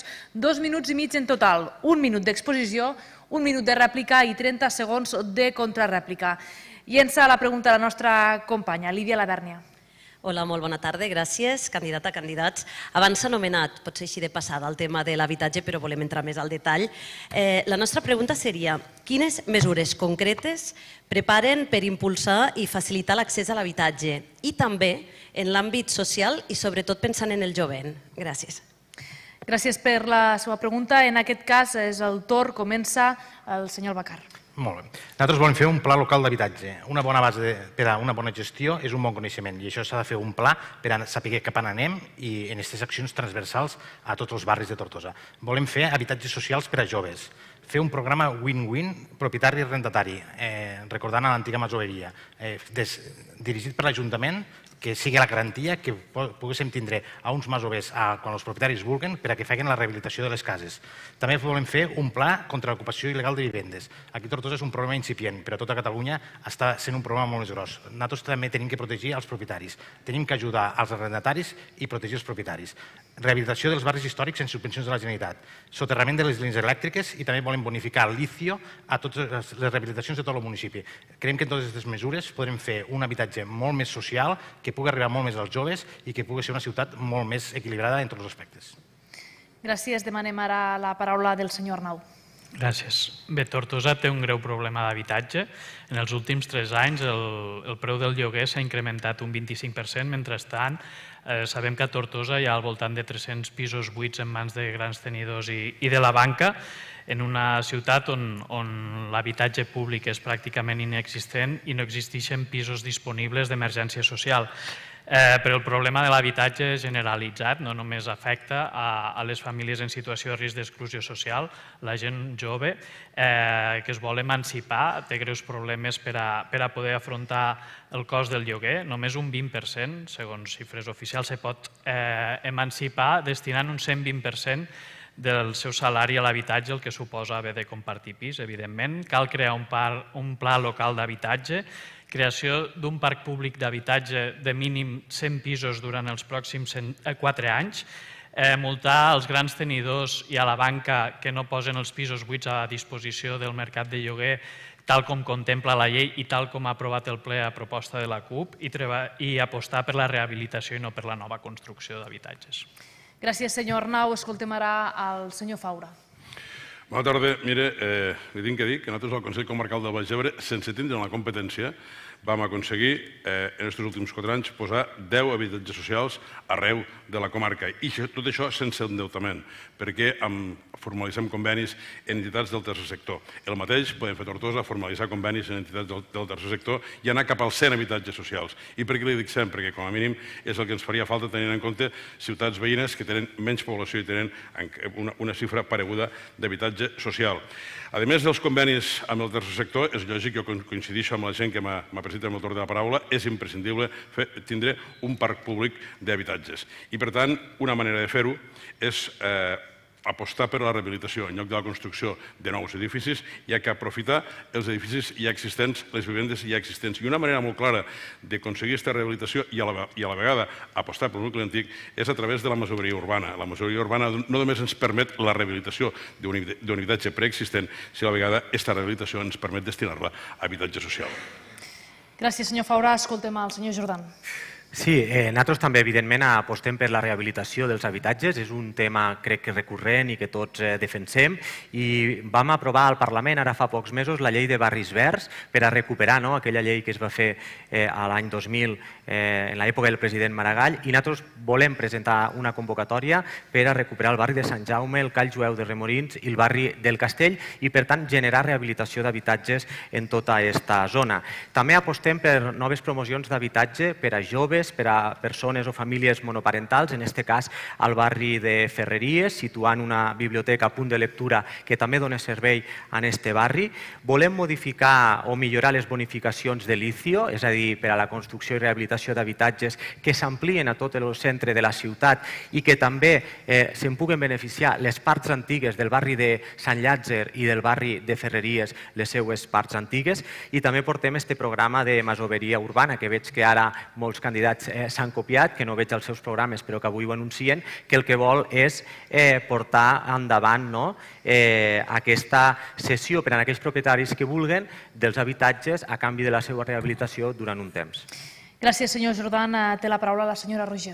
Bé, l'habitatge es pot fer de diferents maneres. D'una, la creació d'habitatge, d'una banda, amb el fet de, a través d'empreses de, privades, i això el que hem de fer és generar este sol, que és el que ha fet este govern, generant sol tant al barri de Ferreries com al Temple Sud, com a l'àmbit del barri de Sant Llatge, amb col·laboració público-privada o també a partir de promoció pública. Per tal de poder fer una promoció pública, el que hem aconseguit, un ajuntament com el de Tortosa, són recursos, que és el que ha fet este govern. Hem aconseguit 1.300.000 euros per tal de construir promocions, en este cas al barri del Rastre, i al barri del Castell, que és el que farem, tindre els recursos per tal de poder-los executar i poder construir aquest habitatge. També a l'absis de la catedral, després d'haver adquirit el solar que també hi ha en aquell apartat. A partir d'aquí, pel que fa a la col·laboració público-privada, ja hem avançat que tenim un conveni amb Habitat 3 per tal de poder generar aquests habitatges més destinats a l'àmbit social. El que tenim previst al centre històric és habitatge per a joves i pel que fa també amb aquesta col·laboració público-privada ja hem dit també que tenim a disposició els solars tant a Ferreries com al barri del Temple per tal de poder generar este nou habitatge més destinat a famílies vulnerables. I per últim, eh, no només és, és crear habitatge, sinó també és rehabilitació. I amb això vull posar en valor la feina feta també pel que fa a l'oficina d'habitatge. Hem generat este mandat ajudes pel que fa a habitatge, a rehabilitació per 883.000 euros i per tant hem arribat a 128 habitatges. Però a més a més hem aconseguit també fons, 1.700.000 euros per tal de poder arribar a rehabilitar habitatges tant a Remolins com al grup del Temple. Ens queden encara minuts per parlar d'aquest bloc d'habitatge. En aquest cas, encetant els torns de rèplica, eh, no sé si hi ha algun grup que Seguim demana... La... Seguim l'ordre preestablert, per tant, comença el senyor Albacar. Bueno, veig que som els únics que parlem i ens preocupem pels propietaris, que els propietaris que, que poden estar ocupats, nosaltres volem fer eh, que és un mal estat a tota Catalunya, volem que es comenci a tenir aquest eh, concepte al nostre municipi i estar preparats per a minimitzar aquestes problemàtiques.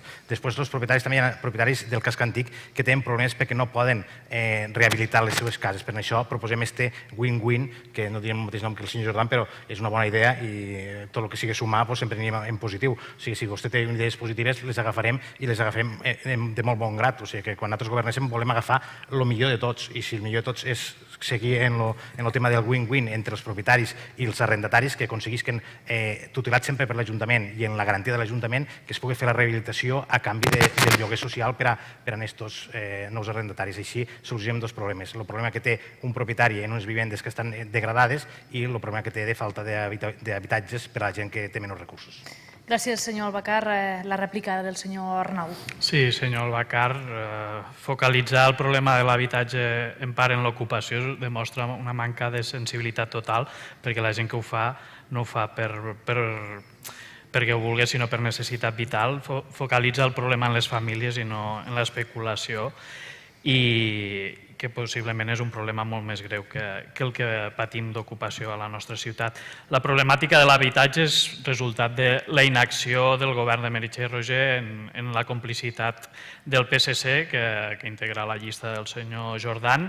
Eh, de fet, eh, partit ha tingut la regidoria d'habitatge l'últim mandat i el resultat és el que és. De moment tot són promeses de, de fons Next Generation per a la construcció d'habitatge social, de de, bueno, de totes les promeses que ha donat l'alcaldessa, però la, la xifra en dades concretes és que Tortosa no té eh, un parc públic d'habitatge comparat, equiparable a ciutats veïnes que en tenen més de 100 i, i, i fan curt, eh, corregixo el senyor Faura, en 100, 100 pisos. Creiem que és una xifra adequada per començar, però eh, evidentment hi ha molta més necessitat eh, d'exclusió social per a cobrir aquestes necessitats socials a través de l'habitatge. Gràcies, senyor Arnau. Escoltem ara la rèplica del senyor Faura. Bé, nosaltres pensem que l'habitatge social s'ha de focalitzar molt, sobretot en l'habitatge per a jovent. És cert que hi ha famílies vulnerables que necessiten aquesta ajuda, però no hem d'oblidar que el que volem és que la gent jove no marxi a Tortosa. perquè no marxa s'ha de poder emancipar i s'ha de poder emancipar sense necessitat d'esperar la sort de trobar mm, qualsevol recurs aliè a la seva feina i per tant per això hi ha que tindre habitatge social suficient per al jovent perquè es pugui emancipar. Un parell de qüestions de, de, de procediment. Mire, senyor Jordan, fa una estona vostè s'ha referit, penso que a mi, quan parlava de masoria urbana, dient-me que, que això ara nosaltres ho hem incorporat al programa electoral, ho portàvem a l'any 2019. Per contra, jo sí que l'he sentit parlar de construcció de nous edificis a Ferreries, l'he sentit parlar a la roda de premsa, quan certament el que parla tothom és de rehabilitació de la vivenda preexistent. I pel que fa al senyor Roger, el senyor Roger ens ha donat unes xifres meravelloses del que serà l'habitatge social a Tortosa. Però en aquests quatre anys, quants habitatges socials hem tingut? Zero cap voluntat i se li ha anat demanant ple darrere ple que tingués habitatge social. I en aquest sentit té, raó el senyor Arnau, el regidor del PSC ens anava passant raons ple darrere ple. Gràcies, senyor Faura. Escoltem al senyor Jordan. Sí, el nostre compromís des de Movem Tortosa i des del Partit Socialista en l'habitatge és total i, i absolut i jo personalment he liderat la defensa de la rehabilitació de l'habitatge a l'Ajuntament i també al Parlament de Catalunya en En Comú Podem en esta llei de barris nova, verds, que podem portar a terme i per tant eh, jo crec que els fets eh, són els que són. Dit això, aquí eh, hi ha un tema que tampoc ningú en parla i és els diferents pobles. Hem de pensar també en Vítem, en Campredó, en Jesús, en, eh, en els Reguers, eh, i, en, i en tots els pobles del nostre municipi i, per exemple, estic pensant en un nucli antic no? del, del poble de, de Jesús que també fa falta que apostéssim allà perquè és important no? la recuperació de tots aquests barris antics arreu de, de tots els pobles. I un altre tema que crec que també tots eh, hem de posar damunt de la taula és la transició energètica, perquè això també és molt important, és a dir, aconseguir no? que la majoria dels habitatges que hi ha en aquesta ciutat estiguen adaptats al canvi climàtic i això passa, evidentment, per fer una aposta claríssima que a hores d'ara no, no s'ha fet. Gràcies, senyor Jordan. Tanca aquest torn de rèplica a la senyora Roger.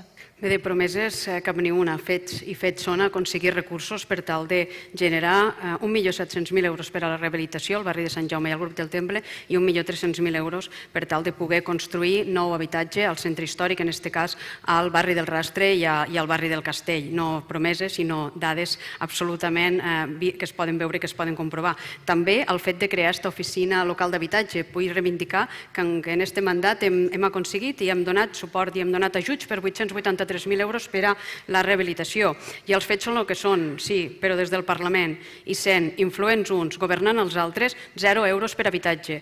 Eh, senyor Faura, dels 20 anys que porta, que porta, dels 20 anys últims, 15 ha estat Esquerra Republicana al govern de la Generalitat. El senyor Jordan dona suport al govern de la Generalitat. Zero euros per habitatge, cap promoció per habitatge al municipi de Tortosa, quan altres municipis del país sí que s'ha fet habitatge. Per tant, menys lliçons i més dades. Nosaltres hem treballat per tindre els recursos, hem aconseguit aquests recursos recursos i podrem fer habitatge perquè hem aconseguit aquests recursos perquè Tortosa sola no els podia tindre.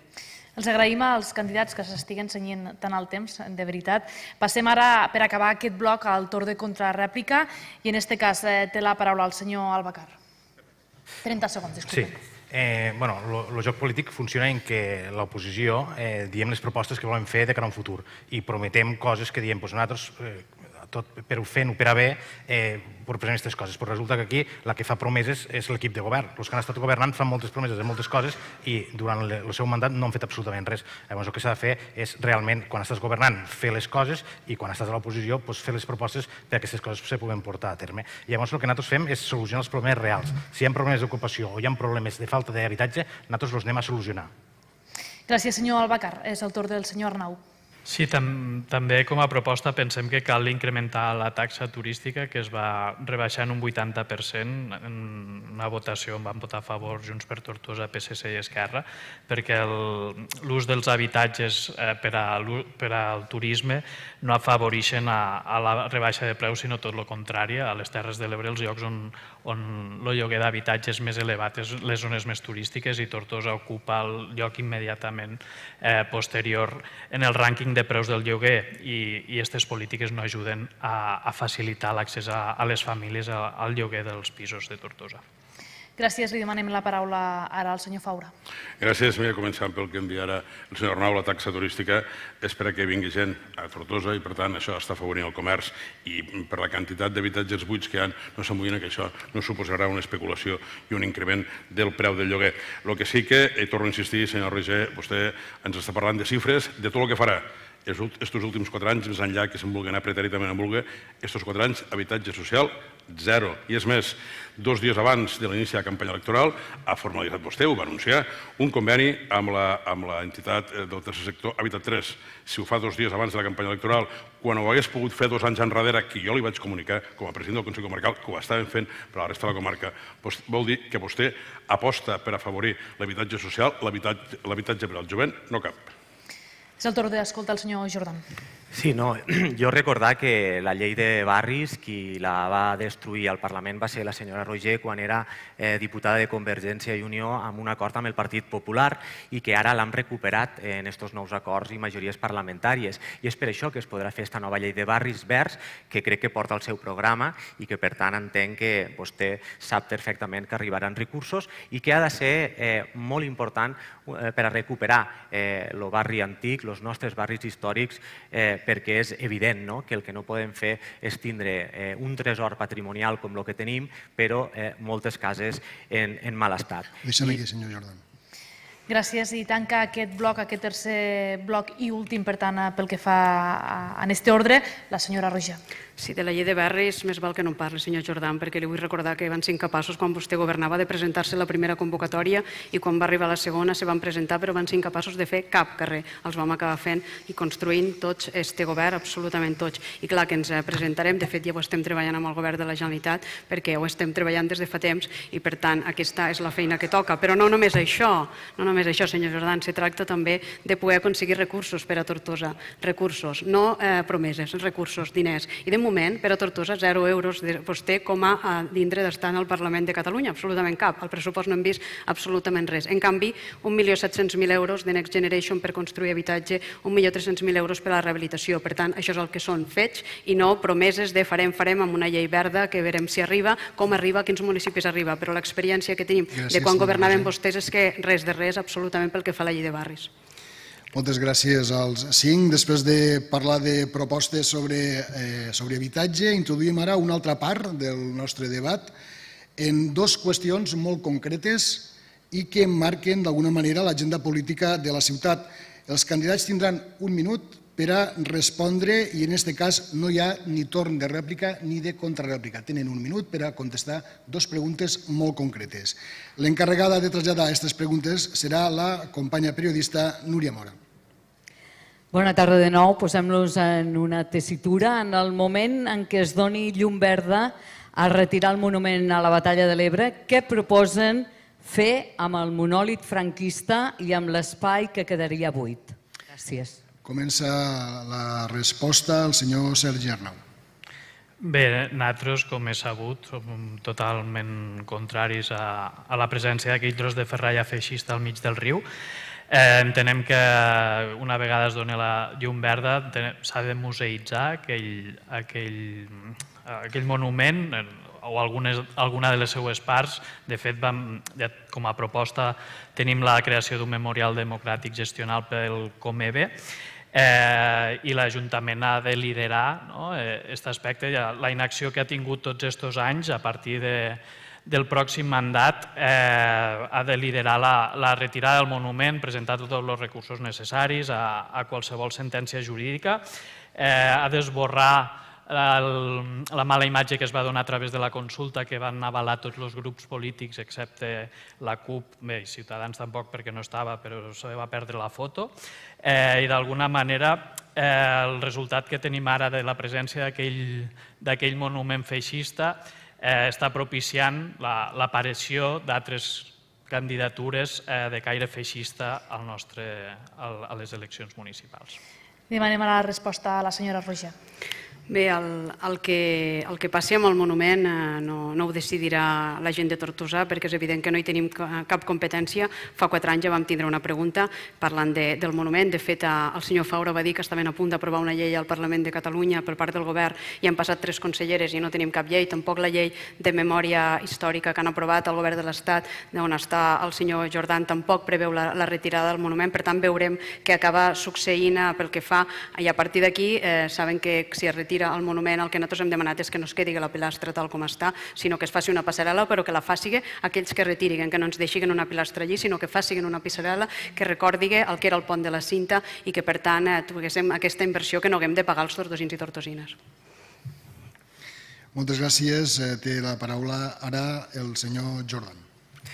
Sí, jo crec que una vegada el monument franquista acaba sent retirat no? a partir de les diferents decisions judicials i lleis que van més enllà del nostre Ajuntament, eh, s'han de fer dues coses. A l'actual pilastra s'ha de recuperar l'antic pont de Barques.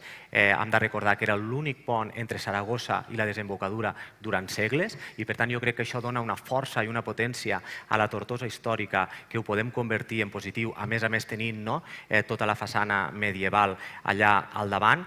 I pel que fa al monument en si, penso que és molt important que també se pugui situar a un centre d'interpretació dedicat a la Guerra Civil, dedicat a la dictadura, dedicat a la memòria, eh, per a recordar el que va representar aquella època, per a educar a les futures generacions i per a que no es torni a repetir mai més el que va representar aquells temps foscos per a la nostra societat.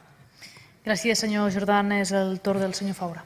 Gràcies. Bé, eh, òbviament, quan se retira el monument del mig del riu, eh, el, que, el que cal posar al mig és una passarel·la claríssimament una passarel·la per a que puguem passar persones eh, i bicicletes i, per tant, que millore la mobilitat entre la mobilitat sostenible entre Ferreries i el nucli antic i a la vegada també això ens servirà de reclam turístic. Òbviament, el monument, quan se retira, i aquí faig un parèntesi, eh, senyor Roger, a veure, no és que hagin passat tres conselleres i no, no està la, la, la llei, és que vostès, el grup de Junts, precisament, són dels que han impedit que això avancés. No? En tot cas, dic que la llei de memòria democràtica espanyola ja contempla la retirada d'aquest monument i, per tant, quan surti la sentència, que previsiblement serà estimatòria i retirarem el monument, aquest monument coincideix amb el resta de companys que hi ha que museïtzar-lo. Hi ha que fer una... O sigui, hi ha que posar en valor el que va passar a Tortosa eh, en aquells episodis tan tristos de la Guerra Civil per a que mai més torni a passar. I tancarà en aquest cas este torn de la primera pregunta concreta el senyor Albacar. Bueno, jo si sóc l'alcalde eh, no passarà això, llavors perquè nosaltres volem mantenir-lo, reinterpretar i il·luminar el monument. No passarà perquè hi ha dues lleis, que la de la memòria històrica, 52 barra 2007, el seu article 15.2, que diu que si hi ha raons artístiques no es pot tocar el monument. Anàlogament, la llei de memòria democràtica, que és la llei espanyola, que abans l'alcalde s'ha equivocat, diu que la llei, la llei 20 barra 2022, l'article 35.6 diu el mateix, que si hi ha valor artístic no es pot tocar. Per tant, nosaltres apostem perquè no es toque i el que sí que volem és mantindre'l, reinterpretar-lo, il·luminar-lo i reinterpretar-lo fer-lo per a que ningú se senti ofès. Nosaltres volem que el patrimoni dels tordosins tothom se senti orgullós d'aquest patrimoni i al final sí que tenim coses en comú que el que nosaltres volem és que no torni a passar i que un monument al mig del riu ens recorda això i farà que així la gent tingui consciència que no torni a passar actes com van passar a la Guerra Civil. Gràcies, senyor Albacarra. Anem a per aquesta segona pregunta, que també la formula la nostra companya Núria Mora. I en aquesta ocasió ja els avancem que és sobre el futur hospital de les Terres de l'Ebre. Sí, la pregunta concreta seria en quin temps creieu raonable que, hauria de, que hauria d'estar en funcionament el nou hospital de les Terres de l'Ebre? En aquesta ocasió comença a respondre la senyora Roger. Bé, dic que per part de, de l'Ajuntament de Tortosa hem fet els deures, hem adquirit eh, els terrenys com vam, ens vam comprometre amb el conseller Gimón al seu moment i amb el conseller de Salut actual i ens vam comprometre a l'abril del 2022 que era adquiríem els terrenys per tal de poder fer una ampliació de l'hospital però a la vegada també eh, construir-hi dos ascensors que connectessin amb el centre, un aparcament soterrani i un aparcament al Fosà i que es portés a terme un cronograma pel que fa al nou hospital. A dia d'avui encara no tenim el cronograma pel que fa al nou hospital, però sí que hi ja sabem una, una moció del Parlament de Catalunya, que jo ja els vaig dir, ja, ja ho he dit a la plataforma i també a tots els grups municipals, estan enganyant perquè parlen de que s'iniciaran les obres el 2024. Això és absolutament impossible, només cal veure que no hi ha ni pla funcional avui, ni hi ha projecte, ni s'ha licitat el projecte. Per tant, només amb el fet de poder licitar el projecte ja passaríem tot el 2024 amb la seva execució. Per tant, el que hem de ser és absolutament creïbles i raonables i, per tant, el que demanem com a Ajuntament de Tortosa, primer, que ens plantegi el Departament de Salut i el Govern de la Generalitat un cronograma real, un cronograma que no enganyiguen a ningú i que en definitiva compleixin el compromís que tenen amb l'Ajuntament de Tortosa de construir el nou hospital. Té la paraula tot seguit el senyor Jordan. Pues eh, lo més ràpid possible, perquè el que és evident és que la senyora Roger i el senyor Faura durant tots aquests últims anys han votat de manera reiterada en contra del nou hospital, tant a l'Ajuntament de Tortosa durant este mandat com al Parlament de Catalunya. I que si finalment en aquesta ciutat acabem tenint un nou hospital, serà gràcies a la plataforma pel nou hospital que va recollir 26.000 firmes i quan aquestes firmes van arribar al Parlament, estos dos partits van començar a canviar el discurs.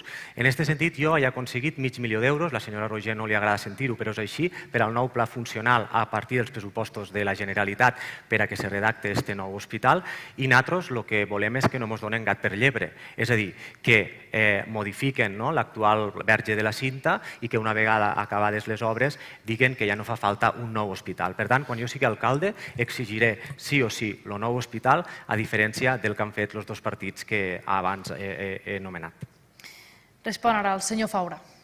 Gràcies, eh, senyor Jordan. Jo em penso que li falla la memòria perquè mai de la vida hem dit que no volíem un nou hospital, sinó posàvem les prioritats en l'ordre que es mereixen. I ara que tenim els terrenys, ara és el moment de tirar endavant el nou hospital. Per cert, el nou hospital, eh, diu la senyora Roger, és que no hi ha cronograma. Li dic, senyora Roger, és que no hi ha modificació urbanística. I sabem per què no hi ha? Perquè la Confederació Hidrogràfica de l'Ebre no ha fet els seus deures i no ha informat favorablement. I com no ha informat favorablement, potser el senyor Jordan representant del PSC, podria fer una trucada a Madrid i ja si s'espavilen. I d'alguna manera així correríem més a l'hora de tindre la informació a la Xe i, per tant, poder tindre la modificació urbanística i, per tant, poder començar el cronograma i poder començar la feina del nou hospital. Que ho tenim tan clar que el nou hospital serà una realitat que hem començat a presentar la proposta del que farem amb l'edifici antic. Eh? L'edifici antic, quan queda buit, ja tenim una proposta que no sé si tinc temps en els moments de comentar-la, com vaig malament de temps, doncs bé, serà una proposta molt interessant i pionera per al territori. Ja la comentarem. Moltes gràcies. Recordo que no hi ha torn de rèplica ni de contrarèplica en aquestes preguntes. Té ara la paraula el senyor Albacar. Nosaltres vam ser els primers que han portat aquesta legislatura al ple municipal eh, la construcció del nou hospital i en aquell cas, eh, és una veritat eh, com un temple, tant Junts per Tortosa com Esquerra Republicana van votar en contra. Després vam ser, a l'hora de negociar els pressupostos de l'any 2022, vam treure totes les nostres, totes les nostres propostes i vam dir nosaltres només volem que s'aguarden 500.000 euros per a comprar els terrenys del nou hospital. En aquell moment l'alcaldessa va decidir fer el seu teatre de la moció de confiança i, i va dir que no a aquesta proposta. Al cap d'un temps va comprar els terrenys i ara continua sense fer la feina perquè no ho lidera, no ha fet la modificació puntual del POM perquè es puguin fer els nous, eh, que siguin aquests terrenys se puguin fer el nou hospital. Llavors, encoratgem a que entre tots eh, féssim el possible perquè hi hagi un nou hospital aquí a Tortosa. Gràcies, senyor Albacar. Tancar aquest torn sobre el nou futur del nou hospital, el senyor Arnau. Bé, gràcies. Primer de tot agrair a la plataforma per un nou hospital el treball que ha fet tots aquests anys, perquè sense aquest treball no estaríem, no estaríem ara debatent sobre això i no seria una possibilitat real la, la construcció d'un nou hospital. No sabem mm, posar una data, no, tècnicament no sé, però l'únic que sé és que anem tard en aquest aspecte.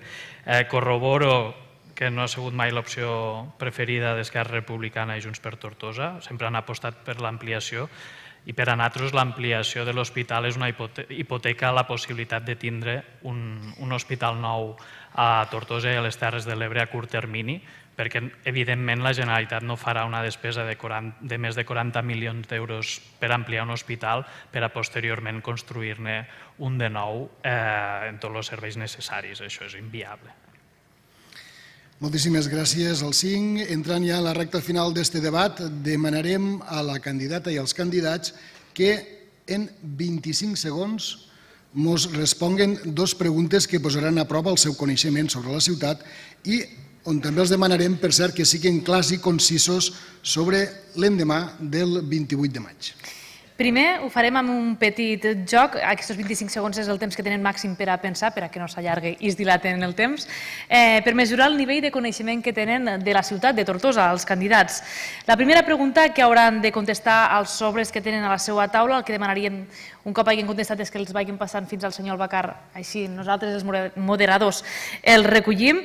Anunciem esta primera pregunta i és la següent. Quin d'estos negocis no està al mercat de Tortosa? Opció A, carnisseria Maricín, opció B, carnisseria Julbe i opció C, carnisseria Blanquet. Ja poden respondre. Quina no està? Recordem, Maricín, Julbe o Blanquet. Una d'aquestes tres carnisseries no està al mercat de Tortosa. Veiem candidats que contesten més ràpid, altres que contesten més lent. A veure quantes respostes. Si poden facilitar... No val a copiar, exacte, no val a copiar. Ara posarem a prova, com dèiem, en esta primera pregunta. No sé si l'han trobat fàcil, difícil... Com l'han vist? Difícil, difícil. Difícil? Fàcil, jo ho he fet a sort. No. Josep, tu mateix. No, doncs jo, jo l'he trobat fàcil, Jo perquè també l'he com trobat vaig a fàcil. sovint, com Jo vaig a també vaig no a tinc comprar cap al mercat i problema. per tant ho sé. El No senyor, trobem mal, senyor Roger? el Pues senyor jo el Sergi Arnau, senyor el senyor Sergi. Arnau ha dit que eh, no existeix al mercat de Tortosa una carnisseria que es digui Julbe. I l'ha encertat, correcte. Era sort, eh, de veritat. El senyor eh, Xavier Faura també ha respost que no existeix cap eh, carnisseria que es digui Julbe. També és correcte. Està a la Rambla Catalunya. Està a la Rambla Catalunya. Existeix però a una altra, a una altra localització de la ciutat. La senyora Meritxell Roger també l'han acertat, ha també dit eh, carnisseria Julbe. Igualment, el candidat de Movem PSC també ha dit carnisseria Julbe i el candidat de Ciutadans ha dit carnisseria Maricín. Ara he equivocat. Sí, sí. Bé, eh, 4 de 5 encerts. Anem potser a pujar una mica la dificultat d'este joc. Eh, no ho farem molt, tampoc, eh? hem sigut benevolents. Josep, En este cas, els demanarem que ens diguen quin carrer amb nom de dona no està a Tortosa. Carrer amb nom de dona. Els diem un carrer que és Marquesa de la Roca, un altre carrer que és Josefa Sol i un altre carrer que es diu de la Romeria. Quin no existeix? ja poden respondre.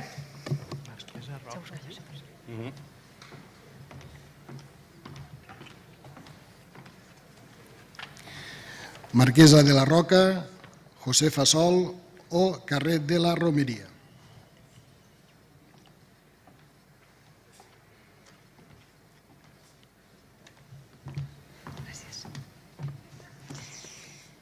Anem, a anem les respostes. Recordem que en l'última, 4 de 5, a veure ara com, com està. El candidat d'Esquerra diu que el que, carrer que no està, amb nom de dona Tortosa, és de la Romeria, per tant, l'encerta. El candidat de la CUP diu que el carrer que no està és Marquesa de la Roca, la falla. Seguim. Junts per Tortosa, la candidata Meritxell Roger l'ha encertat dient carrer de la Romeria. També l'ha encertat el candidat de Movem Tortosa, PSC, i no l'ha encertat el candidat de Ciutadans. Bueno, jo, per a defensar-me, dic que jo no porto mòbil, eh? Això és un punt a favor, eh? No sé si... Demanaríem, per tant, com hem dit abans, que no hi haguin trampes. Eh, bueno, ho vigil- ho vigilarem en les càmeres que, que tenim detrás. Queden encara dos, dos opcions més per a, per a encertar-les. Som-hi. En este cas, eh, quina parella de gegants falta als anunciats que els hi diem a continuació? Rubí i Rufo, Mariana Curto i Cristòfor Despuig i Nabili Zoraida. Ens han d'escriure quina parella de gegants falta als tres anunciats que els han dit i si volen repetim. Rubí i Rufo, Mariana Curto i Cristòfor Despuig i Nabil i Zoraida. Falten dos eh, gegants, una parella de gegants. I han d'escriure el nom de, de la parella de, de gegants. Tenen sort que no sortegem res, eh? és a dir, aquí no hi ha... Josep, tu mateix. Bé, eh, comencem eh, pel senyor Arnau. Diu que eh, la parella de gegants que falten en aquesta relació són Caxixa i Bonjoa. Per tant, és correcte. Correcte.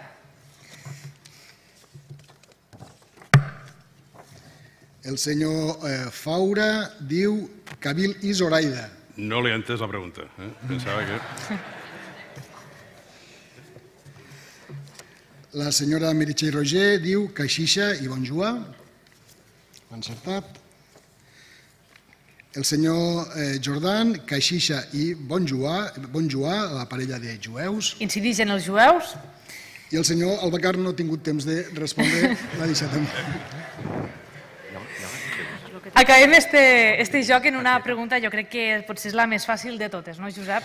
En tot cas, una pregunta, no sé si són vostès seguidors i seguidores del, eh, del futbol, però en tot cas el que demanem als eh, candidats, a la candidata, és que ens diguen a quina categoria juga el Club Deportiu Tortosa esta temporada.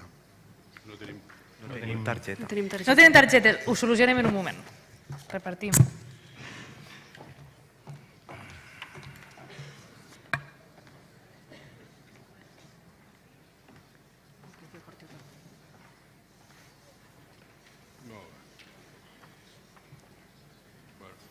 A quina categoria de futbol juga el Club Deportiu Tortosa esta temporada? Qui per cert encara no s'ha acabat.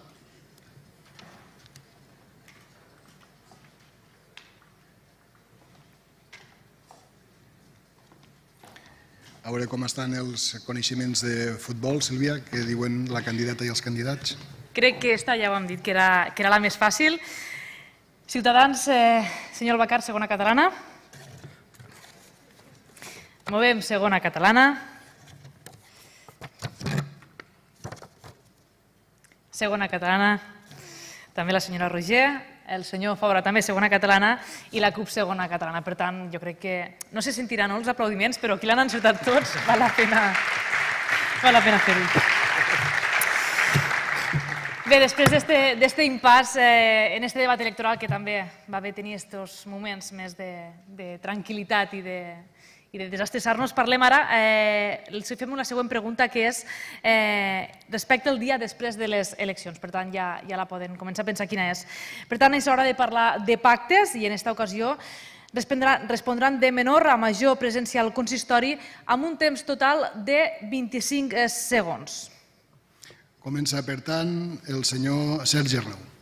Sí, bé, nosaltres hem deixat molt clar que, que volem afavorir un, un canvi de govern i, i que este govern siga de caire progressista i que la CUP pugui tindre prou força per a condicionar les polítiques per a que siguin veritablement d'esquerres. Així que crec que és prou clar el nostre posicionament.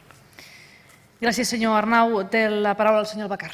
Bueno, nosaltres el que volem fer és millorar la qualitat de vida dels tortosins, farem el possible per a nosaltres poder governar i ser els que féssim la, la força generadora d'aquest govern, en, unint el talent de tothom i després, si no és el cas, doncs nosaltres ajudarem sempre, seguint el nostre programa, a que Tortosa sigui una Tortosa millor. Té la paraula ara el senyor Faura. Bé, nosaltres eh, procurarem governar amb aquella força política que s'atança més al nostre projecte de ciutat. És a dir, la prioritat serà projecte de ciutat. Com més propers estiguen al nostre projecte de ciutat, més còmodes ens, sent, ens sentirem per a fer un pacte de govern i, lògicament, buscant sempre la estabilitat.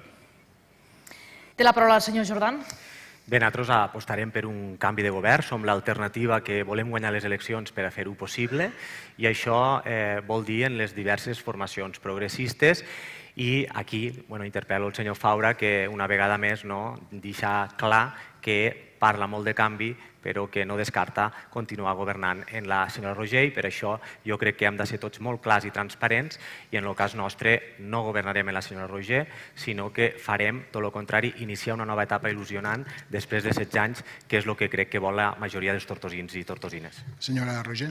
I hem vist que sí, que són molt transparents i per tant eh, queda evident després del que m'ha escoltat que respecte a la llista més votada no entra dintre de les diferents opcions dels candidats que m'han precedit. Per part nostra respectarem la llista més votada, entenem que cal respecte al que la ciutadania vota i que, per tant, el que veiem aquí és que ja s'està preparant un govern als despatxos, no un govern que sigui el que la ciutadania voldrà el dia 28 a les urnes. Per tant, a partir d'aquí ja queda molt evident eh, qui està fent el que està fent i qui vol eh, un canvi per a què, simplement un canvi per a tornar a un desgavell, per a tornar a un govern fet als despatxos, per a tornar a un govern de retallades, a un govern que realment no tirava la ciutat endavant.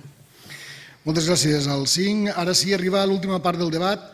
Este joc que els havíem comentat al, al principi, que ens servirà també una mica per rebaixar la tensió d'aquest tipus de, de, de format tan encarquerat. Aprofitem per recordar que poden seguir comentant el debat amb l'etiqueta Tortosa 28M. El joc consistirà en que plantejarem cinc enunciats respecte a cadascun dels candidats, però compte perquè un d'estos enunciats és fals. Els contrincants, per tant, hauran de demostrar quan saben de la resta de candidats, endevinant quina d'aquestes afirmacions personals és mentida. No, mm, en aquest cas, per exemple, eh, per a posar un exemple perquè ens entenguen la gent que ens està veient, que ens està escoltant i els que esteu aquí a l'auditori Felip Pedrell, si, eh, Sílvia, si jo afirmo que sóc rapitenc, que m'agrada navegar, que m'agrada escriure, que sé parlar xinès perfectament i que treballo a la tele, Sílvia, hauries de respondre quin és l'enunciat fals. Josep, jo me la jugo i crec que l'encerto. No sé si el xinès se te dona massa, massa bé. Bueno, no et penses, està entre els meus plans de futur, però de moment no... Ara en eleccions no, En no? tot això de les eleccions no m'ha donat temps ni, ni de posar-me, no? Comencem amb els enunciats després d'aquest exemple. En aquest cas comencem amb els enunciats de la candidata de Junts per Tortosa, Meritxell Roigé, i els cinc enunciats molt atents a la resta de candidats són 1. Soc una persona molt exigent amb els altres, però sobretot amb mi mateixa. 2. Sempre que la feina m'ho permet, m'agrada anar a veure la meva filla a les competicions de natació. 3. Toco la guitarra. 4. M'agrada treballar, estudiar i preparar els temes. I 5. Quan era petita i ja volia ser alcaldessa. En aquest cas no cal anotar-ho, podem dir en, en, en veu alta. Comencem, per exemple, amb el senyor Arnau. Quina creu d'estes afirmacions de, de la candidata de Junts per Tortosa que és falsa? Que toca la guitarra. Que toca la guitarra. Després ho desvelarem. Senyor Faura? Home, jo faig per exclusió. Sé que les quatre primeres són certes, per tant, que quan era petita volia ser alcaldessa. Senyor Exa Gerard? exactament el mateix que ha dit el senyor Faura. Senyor Bacar? Pues jo també. Sí. En tot cas, senyora Meritxell Roger, de les eh, cinc, dels cinc enunciats, quin és el fals? eh, que de petita volia ser alcaldessa. Sí que toco la guitarra, senyor Arnau, i, i en tot cas volia ser veterinària com la majoria de xiquets i xiquetes, veterinària i un mestre. Quan vaig veure que s'havia de punxar els animalets, que m'agradaven molt, per això volia ser veterinària, vaig decidir canviar-me-lo de mestre, com vaja, la majoria de, dels xiquets i xiquetes a, a dia d'avui. Anem ara als enunciats del senyor Jordan. Li agraden els animals i té gossos adoptats. Ha sigut jugador del Cantaires i màxim encistellador de la Lliga durant una temporada. Li agrada desconnectar passejant per la platja. Li agrada la música dels anys 80 i cuina uns pastissets que li surten boníssims. D'estos cinc enunciats, a veure quin és el que eh, és fals. Tornem a començar pel senyor Arnau. Arnau. Quina pressió, no? que va jugar al Cantaires. Que eh, és fals que vostè va ser el màxim encistellador del Cantaires. bueno, això, que va ser el màxim en cistellador del Cantaires. Senyor Faura? Sí, jo també, eh? També per eliminació. O sigui, estàvem entre això dels pastelets, però penso que és el tema dels cantaires. Senyora Roger? Jo, com som de la mateixa quinta, no l'he vist mai jugant als cantaires ni a bàsquet ni sent màxim encistellador, per tant diria que no, que no, és, a- que no és esta la bona. Senyor Bacar? Jo diré el dels pastissets, perquè no m'he regalat mai, llavors seria un detall. Os.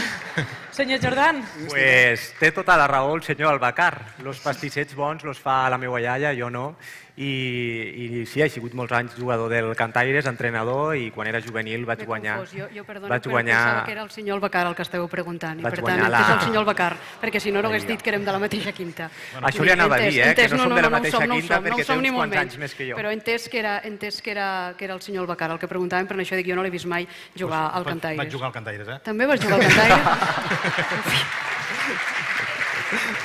Però màxim encistellador no. No, això no no. tens pinta. Vale. Este vaig ser jo. Seguim ara amb els enunciats del senyor Faura. Tota la raó, senyor Arnau, ara ho farem al revés. Ara començarem en l'ordre contrari. El senyor Faura, eh, la primera afirmació o enunciat que ens ha donat és que li agrada fer sortides en moto amb els seus amics. També que li agrada comprar roba. Eh, la tercera afirmació és que treballa tots els dies de la setmana, de dilluns a diumenge. També que és natural del barri del Rastre i, per últim, que va entrar en política l'any 2019. Per tant, d'estos cinc anunciats ens han de dir quin consideren que és eh, mentida. Senyor Bacar. Li agrada comprar roba. Creo que no li agrada comprar roba. No, segur. Jo, jo també crec que no li agrada comprar roba. Senyora Roger. Jo diria el mateix. Senyor Arnau. Jo diria el mateix, però si surt tant en moto no sé com treballa tots els dies de la setmana.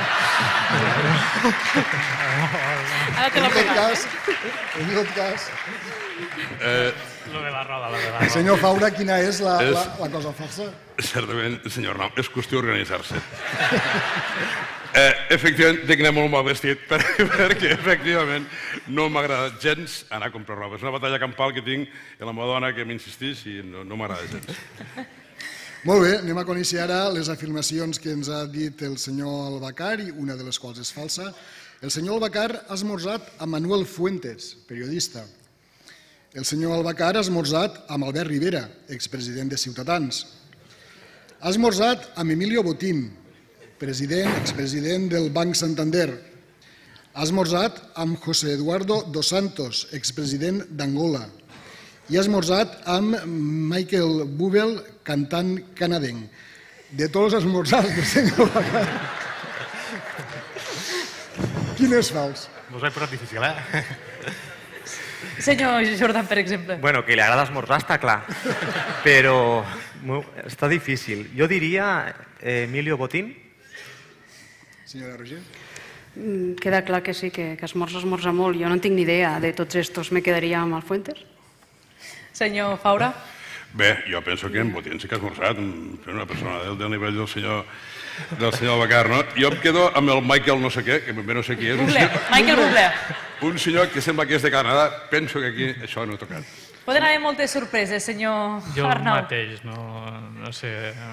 No sé quines amistats té el senyor. Ah, ah, Hem de, ah, hem de reconèixer que, que en este punt del guió ens hem quedat com assegurant-nos que havíem encertat bé la falsa. Eh, senyor Bacar, vostè mateix. Bueno, doncs eh, no ho ha encertat ningú. Eh, L'únic que no hi ha esmorzat ha sigut el president del partit de Ciutadans, que ell va plegar abans.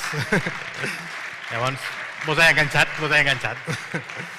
També vull dir una altra cosa, són tots esmorzars molt casuals que per coses de feina he coincidit amb aquesta gent i hem acabat fent el fer juntament en un o en un altre. Doncs en un cas vaig estar fent un projecte a Angola i va estar el president del país, en un altre cas a Ghana, en Emilio Botín, que anava a fer una, una missió de, de portar fondos allí per a fer coses de medi ambient i d'aigua. Llavors, la casualitat de la vida m'ha fet esmorzar en aquesta gent tan rara i no he esmorzat precisament en el candidat del, de Ciutadans. Este debat està sent una caixa de, de sorpreses. Ens falten els enunciats del senyor, del senyor Arnau. El primer afirma que milita els moviments socials de tots els llocs on ha viscut. També que té el repte amb el seu fill gran de pujar 100 cims. 100 cims, que ja en porta 42. També que si suca magdalenes a la llet, les ha de colar per poder-se veure la llet després. Crec que hem entès bé la- l'afirmació, és així. També que li costa fer bromes a la gent que no coneix i després que és independentista des de que tenia consciència política als 15, als 15 anys. Comencem ara pel senyor Faura, que crec que no, no hem començat encara. Bé, eh, la veritat és que mm, tampoc no ho tinc gaire clar, però jo diria que és el tema de la llet, no? Això de, de la llet, que, que vostè que és... Jo, jo diria que és este, eh? Senyora Roger. Jo, com té este punt de timidesa inicial, diria que lo de fer bromes a la gent que no coneix. Senyor jo, Jordan. Jo també penso el mateix, que penso que lo de les bromes a la gent que no coneix li deu costar. Jo dic lo de les magdalenes. Lo de les magdalenes. Hauria d'haver un esmorzant. Entre, sí, tampoc no he esmorzat en ell. Senyor Arnau. Però la- L'afirmació és que me costa fer bromes a la gent que no conec Exacte. i, i és el contrari. Tinc tendència a incomodar la gent en bromes que, que són innecessàries d'entrada. Això és una... Un... Esta seria falsa. Per tant, la falsa, la falsa és que li costa fer bromes a la gent perquè sí que en fa. Eh? Ah, llavors encertat. Sí, sí. No, no, Ah, no, però, però l'argumentació en algun cas ha sigut vale. contrària. Sí. Però sí, la senyora Roger ho ha, ho ha encertat. Sí, sí, sí. Bé, en tot cas, eh, creiem que ha sigut un joc que ens ha permès pues, eh, conèixer més punts personals dels candidats que al final eh, és d'allò més interessant. Ara ens queden uns minuts ja, ja per acabar, molt pocs. Sí que ens agradaria poder tornar a fer una mirada a les xarxes socials. En aquest cas, el nostre company David Benito, recordem amb l'etiqueta Tortosa 28M, que has pogut recollir. Pues, novament, esta segona part del debat, qui més ha interactuat han sigut els mateixos partits polítics i eh, ha agradat molt el joc. Els diferents jocs que han hagut han agradat molt a la segona part, alguns s'han atrevit també a contestar, molts han fallat també, no les sabien des de, des de casa, inclús fan recomanacions a alguns dels candidats quan no saben què respondre. Per exemple, al senyor Albarcar li recomanen que si no sap quina carnisseria està al mercat, digues que és vegetarià i que per tant no, no sap on es pot comprar carn. Moltes gràcies, David, també per este, per este seguiment a les xarxes socials. Bé, tornem al que és el format clàssic d'un debat. Entrem ja a l'últim punt, com no pot ser d'altra manera, acabem amb el minut final en què la candidata, els candidats s'adreçaran a la ciutadania per demanar el vot. En aquest cas, l'ordre serà de menys a més representació a l'Ajuntament. Per tant, és el torn del senyor Sergi Arnau de la CUP. Tortosins i tortosines, el pròxim 28 de maig tenim l'oportunitat de generar el canvi de govern que tant necessita la nostra ciutat. Tenim l'oportunitat per a que d'una vegada per totes se posi a les persones al centre de l'activitat política. Tenim l'oportunitat per a tindre un govern que doni resposta a les necessitats derivades de la triple crisi econòmica, social i climàtica que estem patint. Però per a que això sigui possible necessitem una CUP forta a l'Ajuntament, davant d'una Esquerra Republicana que acabarà pactant amb Meritxell Roger i davant d'un pacte electoral entre Movem i el PSC que ha sigut còmplice de les polítiques de la dreta tortosina els últims quatre anys, cal una CUP forta a l'Ajuntament que siga el veritable canvi per a la ciutat i que faci possibles una, un, unes polítiques veritablement d'esquerres. Necessitem capgirar la política tortosina, així que les persones que vulgueu garantir el canvi, no ho dubteu, opteu per la CUP el pròxim 28 de maig. Moltes gràcies, senyor Arnau. Té ara el seu torn el senyor Albacar. Per la Tortosa als teus, que tot sigui per a bé. L'objectiu principal de Ciutadans, juntament amb la plataforma Tortosa Activa, és millorar la qualitat de vida dels tortosins. Un nou hospital és fundamental en estudis universitaris de medicina que donen un servei de qualitat a les Terres de l'Ebre, en pàrquing gratuït. Les empreses locals i el comerç i els emprenedors han de fer més eficients els procediments. Si voleu això, nosaltres ho farem. Més seguretat, més neteja, més manteniment, més il·luminació, més planificació i més rigor. Farem una nova regidoria d'igualtat i pels, pels majors de 65 anys, ajudant a qui més ho necessita. Pel carrer mos troba molta gent i necessita ajuda i que els volem ajudar escoltarem a la ciutadania mantenint, il·luminant i reinterpretant el monument de la batalla de l'Ebre, perquè tothom se senti a gust en el patrimoni tortosí. Potenciarem el turisme i vetllarem pel manteniment del Delta de l'Ebre, solucionant mil problemes de mil ciutadans i apartant-nos de les despeses superflues. Per la Tortosa dels teus, voteu a Ciutadans i la plataforma Tortosa Activa, que tot sigui per a bé. Minut final ara per al senyor Faura. Moltes gràcies. Jo seré molt franc, em presento a l'alcaldia per liderar el proper govern municipal perquè Tortosa necessita més. Tortosa necessita un alcalde que governe per a tots els tortosins i tortosines en independència del, barri, del barri o del poble on visquen. Perquè no, cal, no, cal, no és correcte que cap veí o cap veïna se senti exclòs de l'acció de govern municipal. Perquè jo, igual que vostès, estimo Tortosa i la porto al cor, igual que estimen Tortosa totes aquelles persones que m'acompanyen en aquesta candidatura. Durant aquests dies que ens queden de campanya, segurament es parlarà molt de cadires i de pactes postelectorals. Jo els he de dir que Esquerra Republicana i jo mateix no entenem l'alcaldia com un objectiu. L'alcaldia és una eina, és una eina per desenvolupar el nostre programa de ciutat, per a posar les persones al centre de totes les decisions. I és per això que els demano el vot els demano el vot per a fer una Tortosa més cohesionada, una Tortosa més amable, una Tortosa que exerceixi de capital de les Terres de l'Ebre. És per això que us demano que voteu Esquerra Republicana, perquè en Batros ho farem possible. En tot cas, ara té la paraula el senyor Jordi Jordan. Som la coalició que hem construït el polígon Catalunya Sud, que hem liderat la seva ampliació al Parlament i això fa que ara puguen arribar empreses a la nostra ciutat. Som la coalició que hem aconseguit 10 milions d'euros per a les nostres muralles, la inversió més gran en democràcia en relació al patrimoni. Som la coalició que sempre, sempre hem defensat i defensarem el nou hospital. Som la coalició que defensem a les persones, que volem fer una tortosa de les persones, especialment la nostra gent gran i també els joves, que són els grans oblidats. Som la coalició que volem, eh, volem prioritzar el manteniment de la ciutat, a tots els pobles, a tots els barris, sense distincions, fent una ciutat més neta, una ciutat més segura, una ciutat amb més espais verds. I som l'única candidatura que podem garantir aquest canvi després de 16 anys de governs liderats per l'espai eh, convergent. S'ha vist avui, el senyor Faura no descarta tornar a governar amb la senyora Roger. Per tant, si vols que Tortosa guanye, si vols que hi hagi un canvi, fes-nos confiança, vota a la nostra coalició. I acaba aquest minut final i també els torns en aquest debat la senyora Meritxell Roger. Tortosa estem en un molt bon moment i no el podem deixar enrere. Estem en un moment que el que cal és continuar avançant i, per tant, en aquestes eleccions ens juguem moltíssim. Estem transformant la ciutat i la ciutat de Tortosa avui és una ciutat més intel·ligent, més dinàmica, més sostenible, molt més eh, atractiva, més pròspera socialment i econòmicament, on hi ha oportunitats i més llocs de treball que mai. Hem fet molta feina, però ens queda encara feina a fer perquè la volem fer amb tu i volem seguir treballant amb tu pels cinc pobles del municipi i per Tortosa, perquè segueixi avançant Tortosa.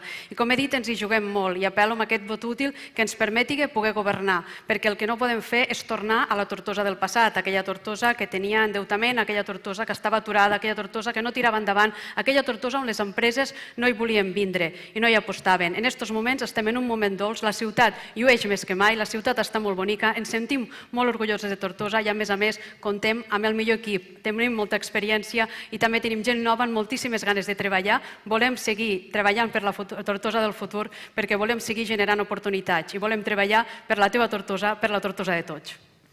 Agraïm molt sincerament als candidats, a la candidata que s'hagin senyit a les normes i també la dinàmica d'aquest debat que hem, que hem preparat des del Col·legi de Periodistes. A tots i a totes molta sort en aquesta campanya i molts d'encerts. Agraïm també als espectadors i a tot el públic assistent i present a que s'hagin seguit. El debat de Tortosa ha estat, recordem, el segon dels quatre debats organitzats eh, pel Col·legi a cadascuna de les capitals de comarca. A través dels nostres mitjans podran seguir-los. Moltes gràcies per la seva atenció i molt bona nit. Debats electorals eleccions municipals del 28 de maig. En directe des del 101.9 de la FM i també des del canal de YouTube d'U Ràdio l'actualitat política als debats electorals d'U Ràdio.